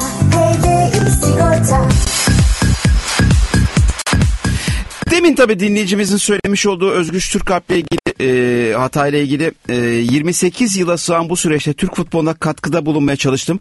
Futbolun tüm paydaşlarının başarılı olmak için sahaya çıktığı bir arenada arenada ben de başarılı olmak için sahaya çıktım. Verdiğim kararlar bir tarafı mutlu ederken diğer tarafı da mutsuz etti. Mutsuz etti. Var kayıtların açıklanmasıyla ortaya çıkmıştır. Yapılan bu hata şahsımdan kaynaklanmıştır. Her güzel şeyin bir başlangıcı olduğu gibi bir de sonu vardır. İnişli çıkışlı bu süreçte her zaman yanımda olan aileme, dostlarıma, hakem arkadaşlarıma ve üzerinde emeği olan yöneticilerime şükranlarımı sunuyorum. Aktif hakemlik görevimi 04.01.2023 tarihi itibariyle veda ettiğimi kamuoyunu bilgilerine sunuyorum demiş Özgüç Türk Alp. Hatta futbol arenadan Nurgül Günaydın var. Nurgül yayınımıza hoş geldin. Merhaba, hoş bulduk. İyi yayınlar diliyorum. Ne diyorsun Özgüç Türk Alp'in veda yazısı ile ilgili?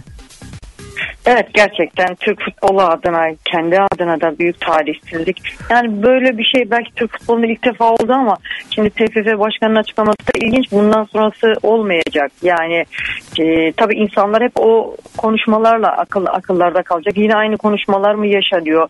Hakemlerle ilgili endişeler, e, güvensizlikler bana göre daha da artacak. Çünkü hani bunu siz bir kere kamuoyuna sundunuz. Bundan sonrası için de yine aynı şeylerin yaşandığı hep algısı oluşacak taraftarlar arasında ve e, insanlardaki güven duygusunun azalmasına sebep oldu Şu bana olabilir göre. mi Nurgül? Sözünü kestim. Hı hı, Yani sadece o pozisyonu gösterseydim, Beşiktaş'ın o Evet. kırmızı kartını göstermeseydim belki insanlar bu kadar baskı yapmayabilirdi. Bak şimdi Beşiktaş'ı da Yani- gösterdikten sonra o pozisyon çünkü ona benzer çok fa- aynı pozisyonlar var ligde biliyorsun. Kesinlikle çünkü sosyal medyada inanılmaz örnekleri yayınlanmaya başladı. Yani işte şu ondan daha kötüydü, şu daha iyiydi, şu pozisyon daha ağırdı şeklinde ve bana göre çok belki biraz acele etti. Türkiye Futbol Federasyonu da bu konuda ne kadar e, müdahil oldu, MHK ile aralarında neler geçti. Çok enteresan yani nasıl verildi bu kadar çok acele oldu bana göre. Yani belki de kamuoyu baskısı bu zorlamıştır bunu ama yani o bana göre tarihe geçen konuşmalarda yani gerçekten ilginç de ifadeler vardı. Offside'ımsı. Çok iyi yani çok, Offside'ımsı bunlar yani. e, hani bir tabir var lügatımıza eklenen yeni bir ifade cümle kelime oldu yani.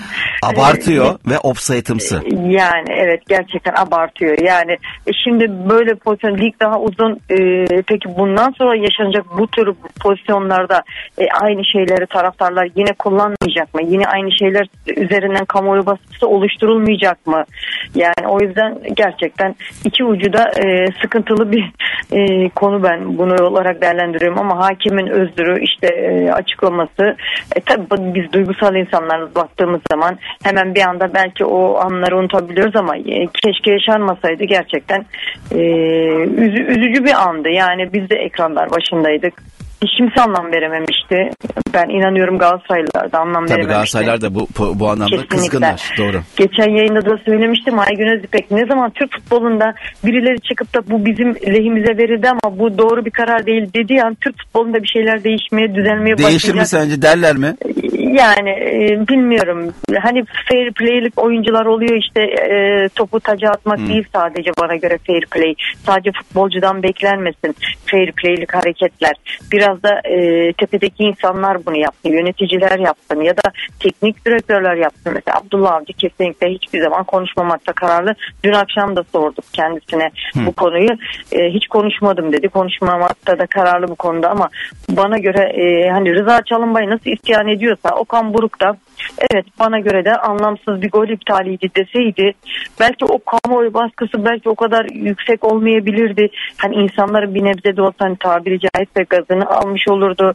E, o zaman bir şeyler belki düzelmesi için bir kıpırdama yaşanabilirdi. Ama e, herkes kendine tabii ki e, burada dediğim gibi sadece futbolculardan beklemeyelim fair play'lik hareketleri. Biraz da gerçekten doğru olanı söyleyelim. Doğru olduğu gibi gördüğümüz doğruları söyleyelim. Yani sadece kendimizin lehine oldu diye yanlışı da savunmayalım. Ee, yazık oldu yani e, Türkiye'de de gerçekten biliyorsun hakemler çok kolay yetişmiyor. Güvenilir hakem e, konusunda çok sıkıntı var bulmak zor. O yüzden e, üzücü oldu sonucu hüsranla bitti diyebilirim ben. Ama şunu söyleyin Federasyon Başkanı'nın bu konuyla ilgili 100 kişinin izleyip de yüzünün de üzerinden mutabık kaldığı hatalar bunlar. 7 yaşındaki çocuğa, çocuğa bile sorsanız onun bile göreceği türden hatalardı. Yani 7 yaşındaki çocuk bile diyor buna karar verirdi diyor. Yani ya ben bu hatayı yapmazdı oğlumla diyor. izliyoruz. Şey böyle inanın Kaç yaşında oğlan? Abi, Oğlan kaç yaşında? Benim oğlum biraz daha büyük ama şöyle futbolu çok iyi biliyor. Gerçekten küçük 8 yaşından beri futbolu kendisi hani bize öyle bir yönlendirme yapmadım ben ama kendisi şöyle televizyonun Fenerbahçeli değil mi? kenarına? Fenerbahçeli. Fanatizm, bizde fanatizm yok inanır mısınız? Şu anda belki de Türkiye'nin en iyi futbol oynayan takım Fenerbahçe olduğunu, Fenerbahçe ile Galatasaray arasında belki yarışın daha geçeceğini böyle çok objektif yorumlar yapıyor. Çok da hoşuma gidiyor. Onunla ben çok güzel futbol sohbeti yapabiliyorum. Ee, ve bizim ailede fanatizm yok gerçekten. Şöyle televizyonun kenarına geliyor. Ay, bakayım diyor buradan bakayım. Hani yok Ha, ya yok sağdan diyor. bakayım, Yani soldan baktı, yukarıdan baktı, aşağıdan baktı. Yok Ha. yani yok böyle bir şey yok. Yani e, ilginç böyle diyaloglar oldu. Eminim her evde yaşanmıştır bu diyaloglar. Aynen. Yani Nurgül e, çok kısa bir araya. Ondan sonra artık yavaş yavaş maça dönmek istiyorum. Gelen mesajlar var. Mesela e, onun içinden sorayım ama cevabını sonra alayım istersen hı. senden. Hı. A, e, Ter Arda e, 10 12.90 diyor ki e, günaydın diyor. Trabzonspor taraftarının şampiyonluktan sonraki sezon takımından bu derece uzaklaşmasını konuşabilir misiniz Nurgül ablayla dedi, hanımla demiş. Bunu senden reklamdan sonra istersen konuşalım. Çok kısa bir ara aradan sonra ters köşe devam ediyor. HDI Sigorta'nın sunduğu Aygün Özipek'le Ters Köşe devam ediyor. HDI Sigorta HDI Sigorta Evet hattımızda futbol aradan Nurgül Günaydın var. Evet Nurgül ne diyorsun? Yani Trabzonspor taraftarının takımını yalnız bırakma sebebi nedir? Oradan istersen başlayalım. Şimdi öncelikle şunu söyleyeyim. Yani Fenerbahçe maçındaki kötü tezahürat gerekçesiyle tribünlerin çok büyük bölümü e, cezalıydı zaten. Onu öncelikle Ama orada ifade edelim. devirler olabiliyor zaten. Yani bir sonraki Kesinlikle maça devir ona geleceğim zaten. Ona geleceğim zaten. Ee, haftalardır zaten seninle konuşuyorduk. Trabzonspor taraftarı bu yıl bana göre yani bırakın takımı hiçbir maça ortak olamadı. Yani dün akşamki maçın şöyle bir son 10 dakikasını e, kenara koyuyorum. Çünkü takım biraz hücum e, yapmaya başlayınca işte biraz e, iyi oynamaya başlayınca işte Giresun taraftarı da kendini iyice hissettirince birazcık devreye girdi statta bulunan taraftarlar. Onu dışarıda tutuyorum. Sezon başından beri benim aklımda bir tane maç dahi yok yani. Trabzonspor'un taraftarının e, takımını motive ettiği, maça ortak ettiği, takımını ortak ettiği bir maç hatırlamıyorum. Bu sezon bunu sıkça arkadaşlarla da konuşuyoruz. Hatta seninle dün e, telefonda konuştuğumuzda e, Türkiye Spor Yazarlar Derneği'nde arkadaşlarla birlikteydik yönetici arkadaşlar. Yani taraftar e, sanıyorum yani doygunluğa ulaştı. Yani bu şampiyonluğu görmek hani çok da iyi gelmedi herhalde taraftara. Çünkü artık Artık rahatladı yani. Şehir rahatladı artık rahatız diyor. rahatladı. Gitsek de gitmesek de Rahatladı. önemli değil. Zaten şampiyon olduk diyorlar. Doğru mu? Bu de mantık mı var? Trabzonspor tribünlerin sorunu var. E, taraftarlar da bundan çok şikayetçi. Bize de çok geliyor. Çok fazla bölünmüşlük var. Yani e, zaman zaman bunlar büyük maçlarda bir araya geliyorlar. Hani aralarında kavga problemi yok ama yani gruplaşma çok fazla var. Yani 3, 4, 5, 6, 7 belki e, daha fazla e, Trabzon dışında da yine gruplar var. Trabzon içinde farklı gruplar var. Farklı tribünler yapılıyor. Hiçbir zaman tek tribün olamadı Trabzonspor. Sadece e, hatırladığım kadarıyla geçtiğimiz yıl belki bir iki maç belki bu yıl bir maç e, tek ses olma ama yine kendi e, tribün liderleriyle birlikte herkes farklı gruplarda e, tribünlerde oldu. Bu da tabii e, bir birliğin sağlanamamasının bana göre en önemli sebebi. Yani orada farklı isimlerle farklı pankartlar neredeyse bir mahallenin dahi pankartı açılıyor. Yani bilmem ne grubu, o grubu, bu grubu yani bunlar taraftar arasında bir bütünlüğün sağlanamamasındaki en önemli etken. E, ben keşke eski taraftar ben hatırlıyorum üniversitede okurken Konya'da üniversiteyi okuyordum. E, maçlara geldiğimi hatırlıyorum. Ben bir Van Spor maçına da Hmm. geldiğimi hatırlıyorum.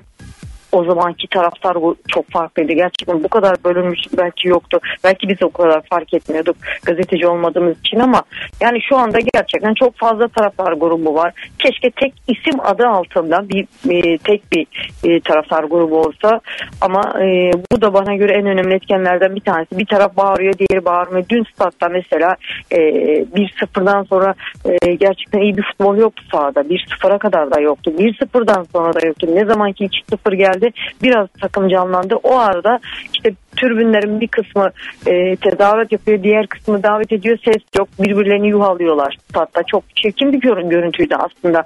Kendi e, taraftarları. Mesela Giresunspor belki sayıları azdı ama iyi bir tribün yaptılar. Çok boş ya. E, Şimdi yine bakıyorum TRT e, şu anda maçı veriyor tekrar dünkü maçı veriyor. E, Hı hı. Tribünler Hı bomboş. Evet, evet. Bomboş. Ve ve şunu söyleyeyim yani ben hep şunu diyorum maç seçmeyecek taraftar lazım yani Ee, küçük maç ya da büyük maç işte Fenerbahçe Galatasaray maçında tribünleri tıka basa doldurup işte bir Antalya Alanya ya da, ya da atıyorum Giresun maçında ya peki cezalı Fenerbahçe maçında cezalı olmuş olsaydı Trabzonspor hani taraftarları Gelmeyecekler Tribün miydi? yine dün boş yine mu boş mu kalırdı? Yani ben bu bunu da asla bahane olarak e, görmüyorum.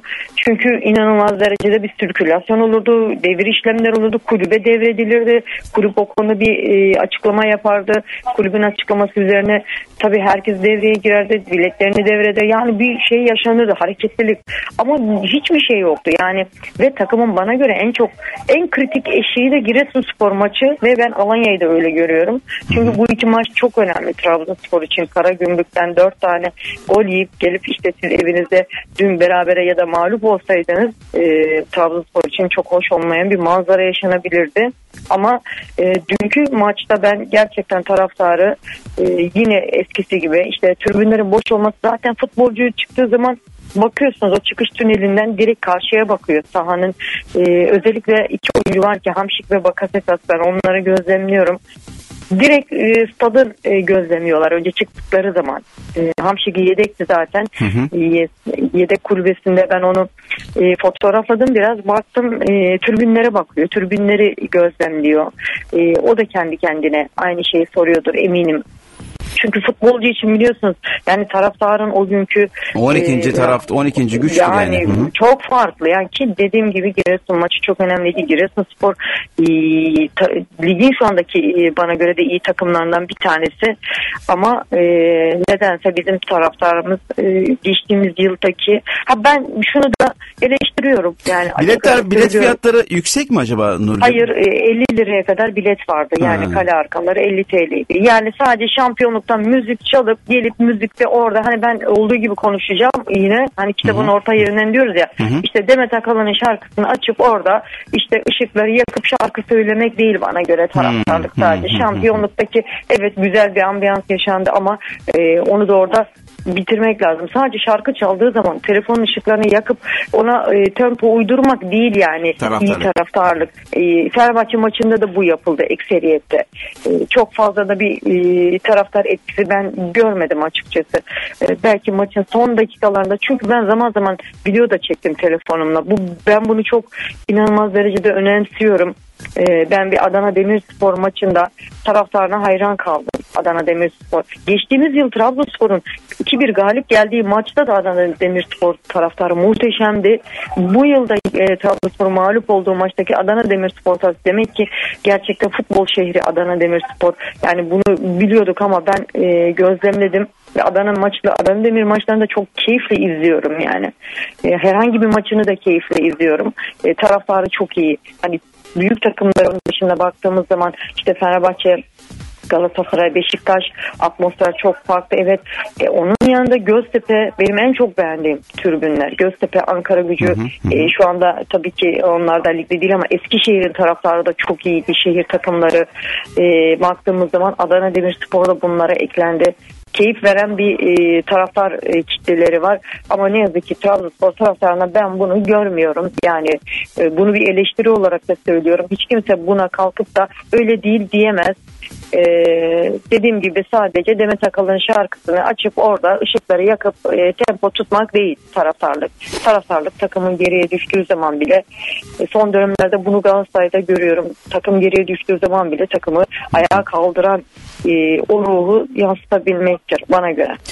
Nurgül tabii şunu da söylememiz lazım. Dün Sayın Abdullah Avcı'nın açıklamasına baktığın zaman transfere değil bizim taraftara ihtiyacımız var diyor ama tabii ki bir transfer de e, ihtiyacı gözüküyor. E, bununla ilgili bir çalışmalar var mı? Nedir durum? Yani şu anda transfer çok zor. Trabzonspor'da ekonomik tablo çok çok iyi değil açıkçası. Ee, tabii boşaltılabilirse yani yer Kadro. açılabilirse ya yer açılabilirse ki şu andaki ana hedef o ee, gördüğümüz kadarıyla. E, tabii dünkü maçta da e, zaten uzun zamandır hedefte olan bazı isimler vardı. Hedefte dedim yani e, gitmesine muhtemel gözle bakılan işte e, Doğucan var, işte e, Canini var, Densville bile konuşulmaya başlandı. Hmm. İşte Yusuf Erdoğan zaten yok. E, iki haftadır kadroda da yok. İşte hafif bir sakatlığı var deniyor ama e, işte yeni genç oyunculardan Arif Boşluğu o, oraya monte etti hoca. Ama ben e, çok bir, büyük bir transferi olabilirliğini görmüyorum. Öncelikle şu anda içeride de yani dediğimiz yönetimde de bana göre hedef hem maaş bütçelerini aşağı çekmek eğer yer açılabilirse ki biliyorsunuz Kuasi ile de Kasımpaşa e, feshetti sözleşmesini.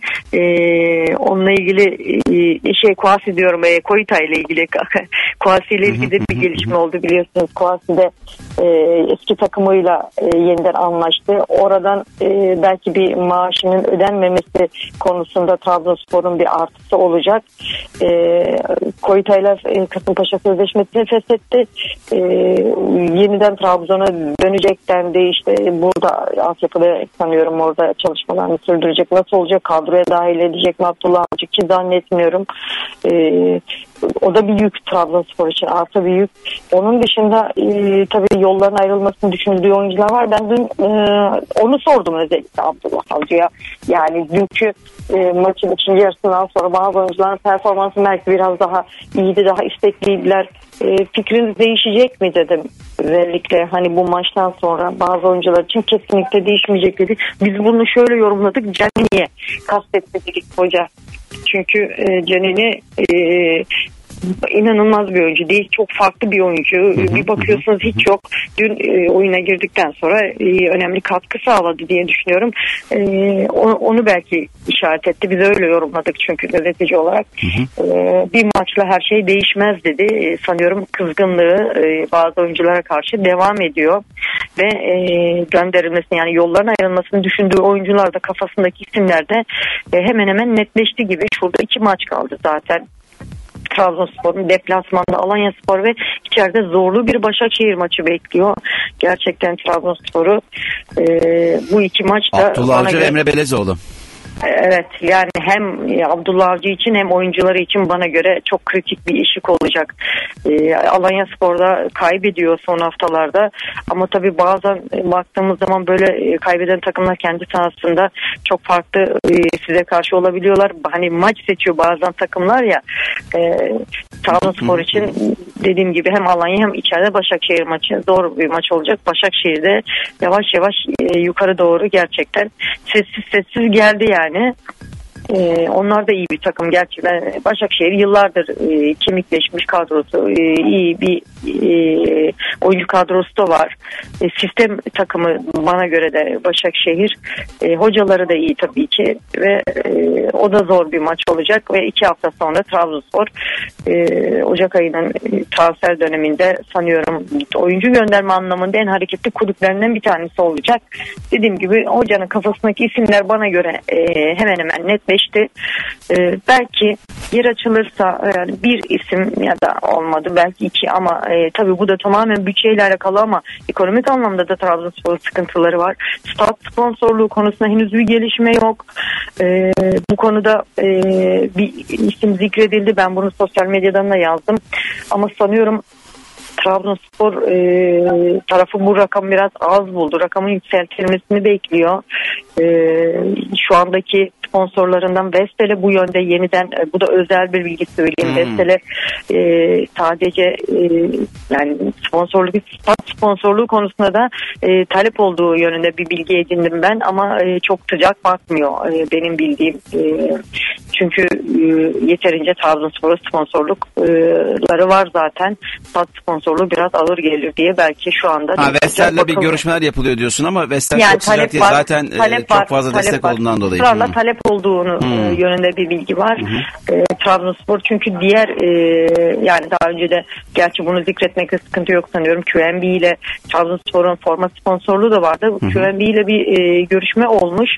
E, ama e, yani tam olmaya yakın bir anda sanıyorum Trabzonspor rakamı düşük bulmuş neredeyse devre arasına geldik ve Trabzonspor bu konuyu da çözümleyemedi. Daha önce Medikal Park'ta biliyorsunuz Biliyorum. eski başkan Muharrem Usta e, uzatmıştı ama şu anda uzatmadı yeniden e, sponsorluğu. E, bu konuda da Trabzonspor'un gelirleri e, gerçekten azaldı bu anlamda. E, ekonomik anlamda e, sıkıntılar bekliyor. Sıkıntılı bir dönem bekliyor Trabzonspor'u diyebiliriz. O yüzden de oyuncu e, maaş bütçelerini en aza indirgemek için şu anda sanıyorum harıl çalışıyorlar. E, bir çıkış yolu arıyor diye düşünüyorum. Demin tabii bu Adana Demirspor tribünleriyle ilgili güzel sözler söyleyince Hüseyin Altundal oğlunun resmini göndermiş tribünden. Güzel dileklerinden dolayı teşekkür ederim Nurgül ablama demiş Hüseyin Altundal onu da şimdiden söyleyeyim. Ee, Nurgül tabii baktığımız zaman iç sahadaki yenilmezlik serisi 33 maça çıktı. Hı hı, evet. Bu da büyük başarı. Neler söylersin? Yani kesinlikle yani hani böyle bir sanki üzerinde bir büyü var Trabzonspor e, kendi sahasına yenilmiyor artık bu psikolojik bir şeye de dönüştü zannediyorum. E, güzel de bir istatistik aslında Trabzonspor'un ki Abdullah Avcı da tabii e, bunu çok seviyor. E, her basın toplantısında buna yakın bir soru geldiği zaman hemen bundan e, bahsediyor işte istatistiklerden yenilmezliklerden bahsediyor. E, ama e, tabii ki taraftar istatistiği de seviyor da taraftar güzel futbolu da özlüyor yani. Her ne kadar taraftarımızda çok etkin olmasa da e, burada olmayan milyonlarca taraftarı var Trabzonspor'un. Onların da takımlarını yani iyi bir futbol oynayan takımını izleme hakkı var. E, çünkü ikinci yarıya kadar dün baktığımız zaman gerçekten hatta birinci gol attığı e, dakikaya kadar Trabzonspor çok etkisizdi. E, golden sonra da etkisizdi. Zaten Giresunspor kendi kalesine attı biliyorsunuz. Ama e, ne olduysa 2-0'dan sonra oldu. E, Trabzonspor daha baskılı oynamaya başladı. O arada e, biraz işte dediğim gibi taraftarın o son dönem devreye girdiği anlar oldu. E, güzel de bir e, ambiyans oldu orada. E, Giresunspor taraftarlarıyla karşılıklı böyle güzel bir e, ortam oldu ve tak, taraf, takım da biraz coştu açıkçası ve e, o baskıda e, Gomez'in golü geldi ve 2-0'dan sonra da, da Trabzonspor daha çok hücum e, yapan takım oldu. E, güzel bir galibiyet oldu aslında. Kötü bir sonuç Trabzonspor işle- adına bana göre işleri daha da zorlaştıracaktı. E, çünkü Karagümrük yenilgisi sonrasında bu galibiyet ardından şimdi Alanya maçı kazanılırsa Trabzonspor yeniden ben de bu yarışın içindeyim diyebilecek. Ama dediğim gibi iki maç kritik eşlikti. Birisi Giresun'da bunu geçildi ve Alanya maçı ama tabii Başakşehir maçı da e, es geçmiyoruz. Burada yine sahasında oynayacak. E, Trabzonspor Vizcan'ın yokluğunda e, şu ana kadar bana göre Maxi Gomez'den çok e, yeterince kullanamamıştı. Hı hı. Çünkü geçen yılın gerçekten çok e, geçen yılki etkisinin çok altında kaldı. Yani Trabzonspor. E, Fenerbahçe maçında biraz böyle e, oyun gücü yani daha iyiydi ama hani çok üst düzey olmasa da bu sezona göre biraz daha iyiydi. Ama bunu istikrara bir türlü dönüştüremiyor Trabzonspor. Yani bir maç iyi oynuyorsa bunu bir türlü istikrara çeviremiyor.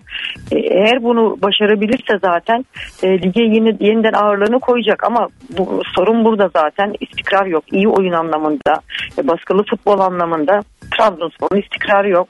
Ama tabii e, Karagümrük karşısında alınan bu ağır yenilgiden sonra galibiyet tabii e, oyunculara da bana göre üzerlerindeki o baskıyı atmasını önemli bir etkendi. Yani e, Trabzonspor gerçekten bana göre e, devre arası da yok şimdi. Hani Aynen, e, arayı çok devam iyi, edecek. arayı çok iyi değerlendireceğiz dedi ama yani Abdullah Ara bana ki. göre bana göre hani o Kasımpaşa arasını Ha, o anlamda Yani. Kasımpaşa Hı. diyorum hani şu e, Dünya Kupası arasını bana göre çok bir büyük bir değişiklik olmadı. Benim düşüncem o yönde. Yani 40 günlük arada çok büyük bir fark oldu mu benim gördüğüm hiç büyük kocaman bir fark var derseniz objektif bakmak gerekir. Yok yani o arada artı ne oldu yani? Ben bunu sorarım. Neyimiz art oldu? Ne oldu? Ne yaptık? Yani ama e, bu arada da çok fazla bir ara yok. Ne yapacağız? Yani maçlar çünkü yoğun bir program var. Biliyorsunuz hafta içlerine sıkıştırılmış bir fikstür var. Ee, en fazla işte oyuncu göndereceksiniz. Belki e, bu sıkıştırılmış aradan belki bir belki bir ikisini takviye edeceksiniz ama o oyuncuların da takıma adapte olması için eskisi gibi yani sezon başı gibi bir süre yok yani. Çok hazır bir oyuncu almak zorundasınız. Hazır ve iyi oyuncu işte Tra- Trabzonspor çok seçici e, bonservisi olmayan işte masrafsız oyuncu işte imza parası belki en fazla olabilir. E, onu da e, kimse bu süreçte kendi takımından göndermez iyi ve e, hani bedava oyuncuyu kimse yani bilmem çok Tabii zordur. vermez. Kolay değil, Yani kolay değil. Zor olacak. Zor bir süreç bekliyor. Dediğim gibi Alanya maçı E, sonrası Trabzonspor'da tablo netleşecek. E, oyuncu göndereceksiniz ama transfer e, planlamamız çok yok diyorsunuz. E, ne olacak yani eldeki kadro bu. Visca'da yok zaten iki buçuk ay en az yok ve hiç yararlanamadığınız Visca'dan. E, Canini'ye baktığımız zaman çok istikrarlı değil. İşte elde e, çok iyi bir yetenek var. Naci dün sizi bilmiyorum izlediniz mi? Ben çok beğeniyorum. Her seferinde Naci ben de çok beğeniyorum. Naci inanılmaz bir topçu. Yani e, özellikle bir pozisyonu var ki tam yanımızda önümüzde oldu ve ben o, o anları fotoğrafladım. Çok da güzel olduğu bir oyuncu. E, Giresunlu bir oyuncuyu geçmesi var tam e, çizginin yanında. Üstelik de muhteşem hareketler e, top ayağındayken e, çok yakışıyor. Çok güzel şeyler yapıyor. E, ama e, nedense Abdullah Avcı. Sanıyorum yine bu kamuoyu taraftar baskısından ama dün şunu söyledi hakkında verelim işte hasta olduğu için işte oynatmadık ilk yarıda falan yani e, oraya getirdi biraz e, hastaydı falan biraz bu ara takımda da sakatlar hastalıklar e, fazlaydı sanıyorum evet evet evet o da var tabii onu da söylemek gerekiyor. Nurgül çok teşekkürler yerimize bağlandığın için. Ben teşekkür ediyorum. İyi yayınlar diliyorum. Ee, güzel bir derbi olacak. Şimdi İnşallah. derbimizi de bekliyoruz, izleyeceğiz. Hadi bakalım görüşmek üzere. Kendine çok tamam iyi bak. görüşmek üzere. Hoşçakal. Evet hattımızda futbol aradan Nurgül Günaydın vardı. Kendisine teşekkür ediyoruz. Kısa bir ara veriyoruz. Aradan sonra ters köşe tüm hızıyla devam ediyor. HDI Sigorta'nın sunduğu Aygün Özipek'le Ters Köşe devam ediyor. HDI Sigorta Evet bu Şenol Hoca'nın, Şenol Sayın Şenol Güneş'in var konusundaki bir e, tartışmalarla ilgili yapmış olduğu bir açıklama var. Beşiktaş'ı bu işe niye ortak ettiniz? Beşiktaş'a siz haksızlık yapıyorsunuz mu demek istiyorsunuz? Zaten gerideyiz ya bırakın yakamızı ifadelerini kullandı. Hattımızda spor yazarı Atakan Kurt var. Atakan yayınımıza hoş geldin. Hoş bulduk Aygün abi yayınlar diliyorum. Evet bu var kayıtlarından başlayıp daha sonra da yavaş yavaş takıma dönmek istiyorum. Ee, Beşiktaş kulübü de bu anlamda isyan etti. Yani bizim görüntülerimizi niye veriyorsunuz dedi. Var görüntüleriyle ilgili senin e, görüşün ve düşüncen nedir? Hem Beşiktaş maçı Enkudu'nun pozisyonu hem de Sivas Galatasaray maçı ile ilgili neler söylersin sevgili Atakan? Aygün abi artık emsal olacak. Ee, herkes her maçta val kayıtlarını isteyecek abi.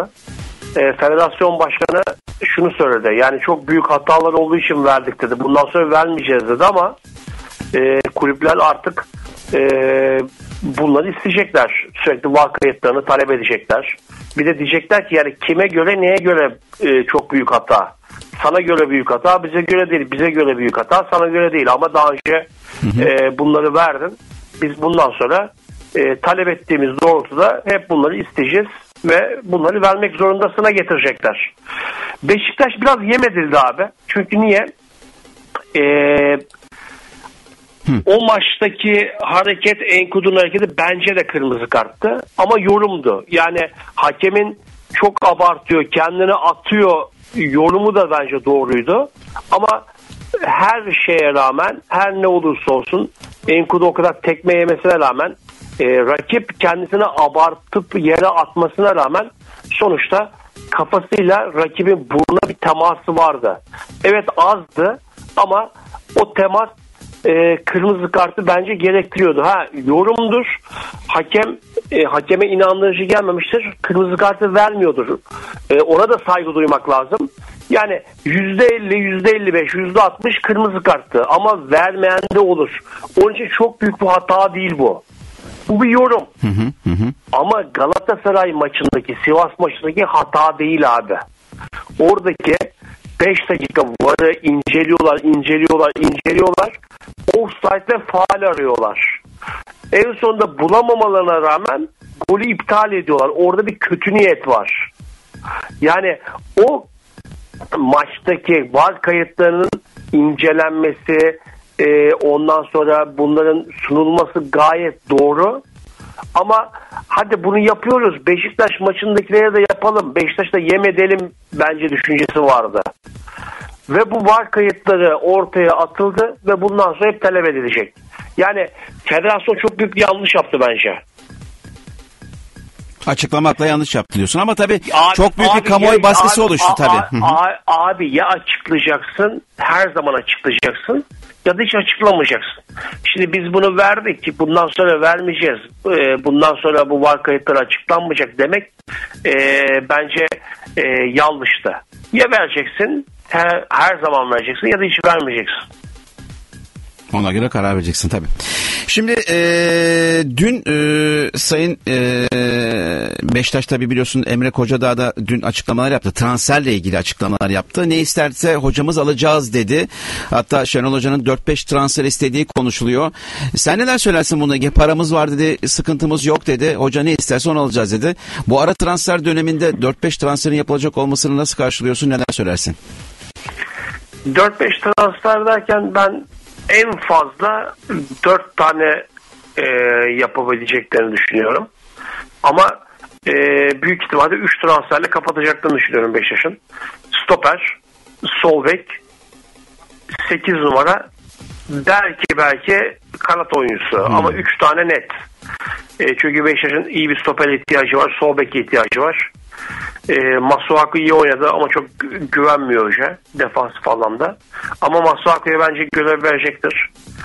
E, bir de Beşiktaş'ın Gerson Fernandez'in yanına e, bir tane 8 numaraya ihtiyacı var. O da Ozan Tufan olacak büyük ihtimalle.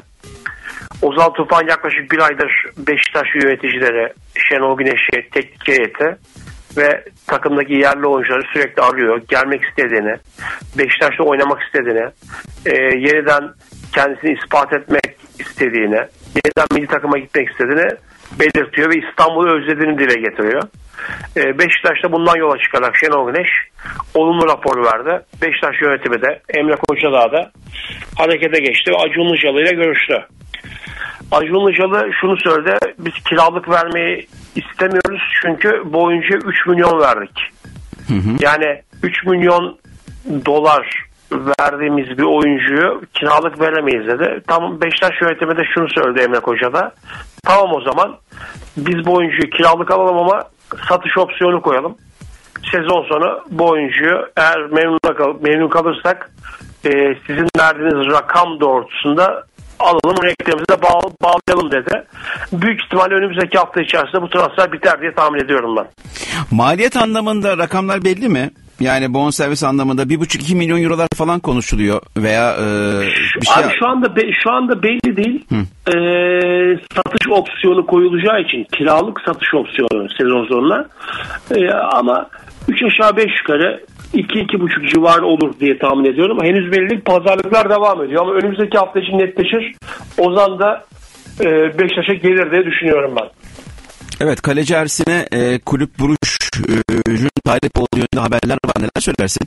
Böyle bir şey duydun mu? Ersin gider mi? E, çünkü şu anda ikinci kaleci pozisyonuna düştü Ersin bir yanda. Kulüp Buruş zaten e, bir iki yıldır istiyordu Ersin'e. E, yine ilgileniyor.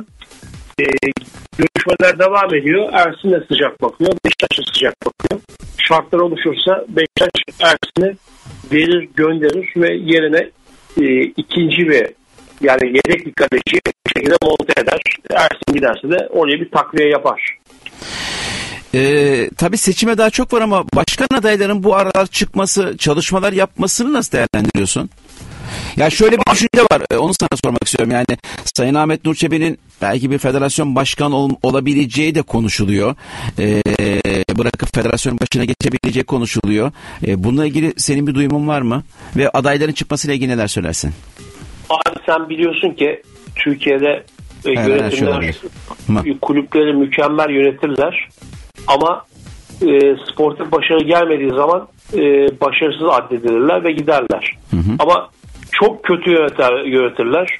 Borcu borç katarlar. 3-4 katı borç yaparlar ama üst üste şampiyonluklar elde ederler. Galiba hattan düştü ee, sevgili Atakan Kurt'u tekrar arayacağız. Ee, onu da tekrar belirtelim.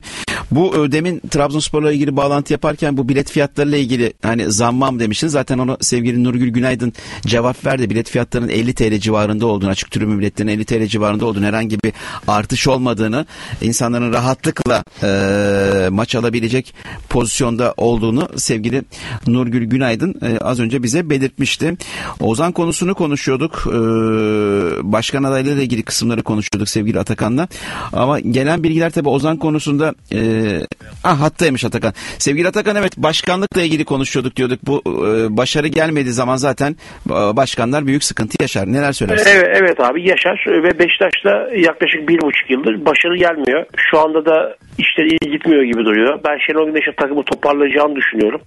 Ama e, böyle devam ettiği zaman ve sürece her zaman yeni adaylar çıkar. Hasan E, düşünüyor. Başka adaylar da çıkar diye düşünüyorum ben.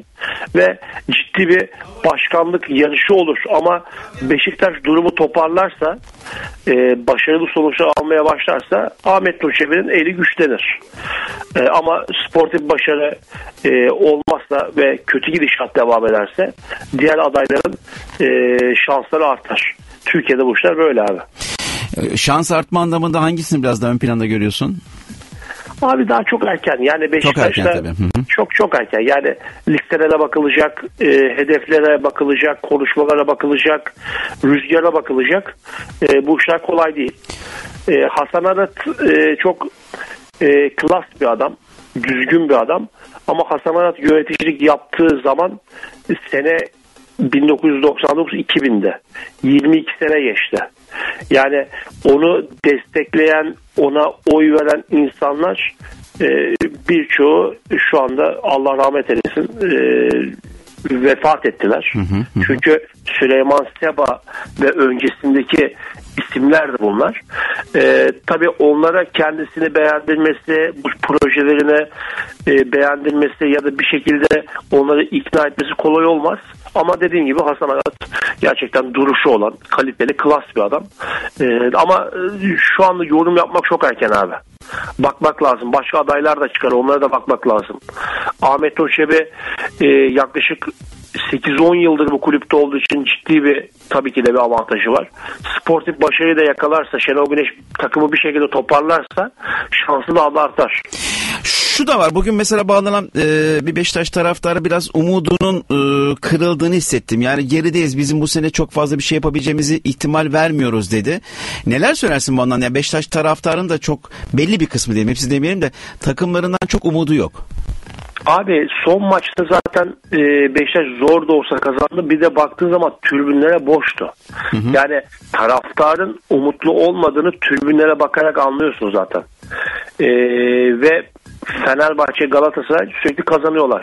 Beşiktaş'ın artısı şu e, bir seri yakalarsa işte 4-5 maç üst üste kazanırsa devre arasından sonra da transferlerle bir şekilde ivme kazanırsa Fenerbahçe ve Galatasaray'ın kendi arasında maçı var. E, ve her an birbirlerine girmeye ya da birbirlerini olumsuz yönde etkilemeye e, algı yapmaya müsait kulüpler bunlar.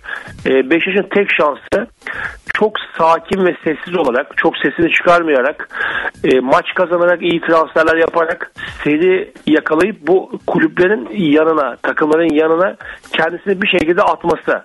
E, çünkü Beşiktaş hep Fenerbahçe ile Galatasaray birbirlerine girdiklerinde ya da birbirlerini olumsuz yönde etkilediklerinde aradan sıyrılır. Sen de bilirsin. Hı hı, hı, doğru. Geçmiş senelerde bunun çok Örnekleri örnekleri var. var. Doğru. Evet Beşiktaş bu şekilde bir yol izleyecek. Yani iki takım ya da iki kulüp demeçler verdiğinde aralara girmeyecek, konuşmayacak, e, kendi işine bakacak, sahaya bakacak ve bir şekilde kazanmaya bakacak, iyi transferler yapacak, seri yakalayacak. Çünkü abi Türkiye'de 6-7 maç kazanırsan üst üste bir şekilde kendini zirvede görürsün. Çünkü Fenerbahçe mesela çok iyi evet ama çok iyi olmasına rağmen 3 maç 4 maç üstte kazanamaz.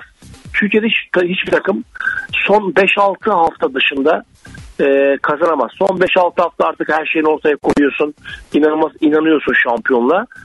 Son 5-6 hafta kazanıyorsun. Ama lig devam ederken orta sıralardayken ya da e, ligin ortasındayken üst üste e, 5-6 maç kazanılmıyor.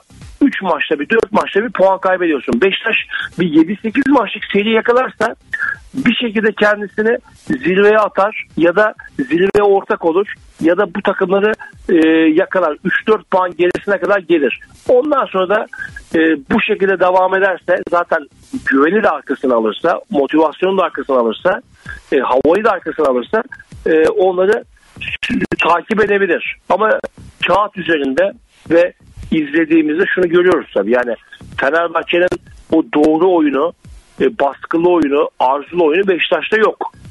E, Beşiktaş iyi oynarken bile güven vermiyor. Çünkü Beşiktaş'ta savunma e, ciddi anlamda SOS'ler veriyor. Yani 5 dakika rakibe topu verdiği zaman Beşiktaş bir şekilde e, pozisyonlar veriyor ya da gol yiyor. Bunları çözmesi lazım. Bunları bir şekilde toparlaması lazım. E, bunları yaparsa eğer e, şansı artar. Ama dediğim gibi şu anda baktığımız zaman Beşiktaş Fenerbahçe'nin de Galatasaray'ın da oyun olarak gerisinde. Delali son sorumda Delal üzerinden olsun. Bir türlü beklenen performans elde edilemedi futbolcudan. Ne dersin? Delali abi bence bu dakikadan sonra e, olursa eğer iyi oynarsa çok büyük sürpriz olur. Ben Delali'nin toparlayacağını, iyi oynayacağını düşünmüyorum, tahmin etmiyorum. Delali büyük ihtimalle de Ozan gelirse devre arasında yeniden e, İngiltere'ye geri gönderilir. Ha gider diyorsun peki. Evet. Atakan ekleyeceğin herhangi bir şey var mı? Benim sormayı unuttum. Senin söylemek Yok, istediğin. yok, yok Aygün abi. Bu hafta bir derbi var. İnşallah bu derbi e, güzel bir derbi olur.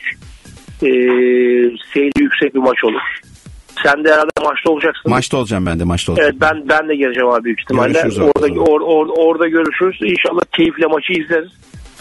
E, hak eden kazanır. Peki. Çok teşekkürler. Ben teşekkür ederim Aygün abi. Yayınlar diliyorum. Evet attığımızda spor yazarı Atakan Kurt vardı. Kendisine çok teşekkür ederiz. Evet, Bugünlükte bu haftalıkta ters köşenin sonuna geldik. Pazartesi sabahı görüşmek üzere. Hoşçakalın. Radyo Spor'da kalın.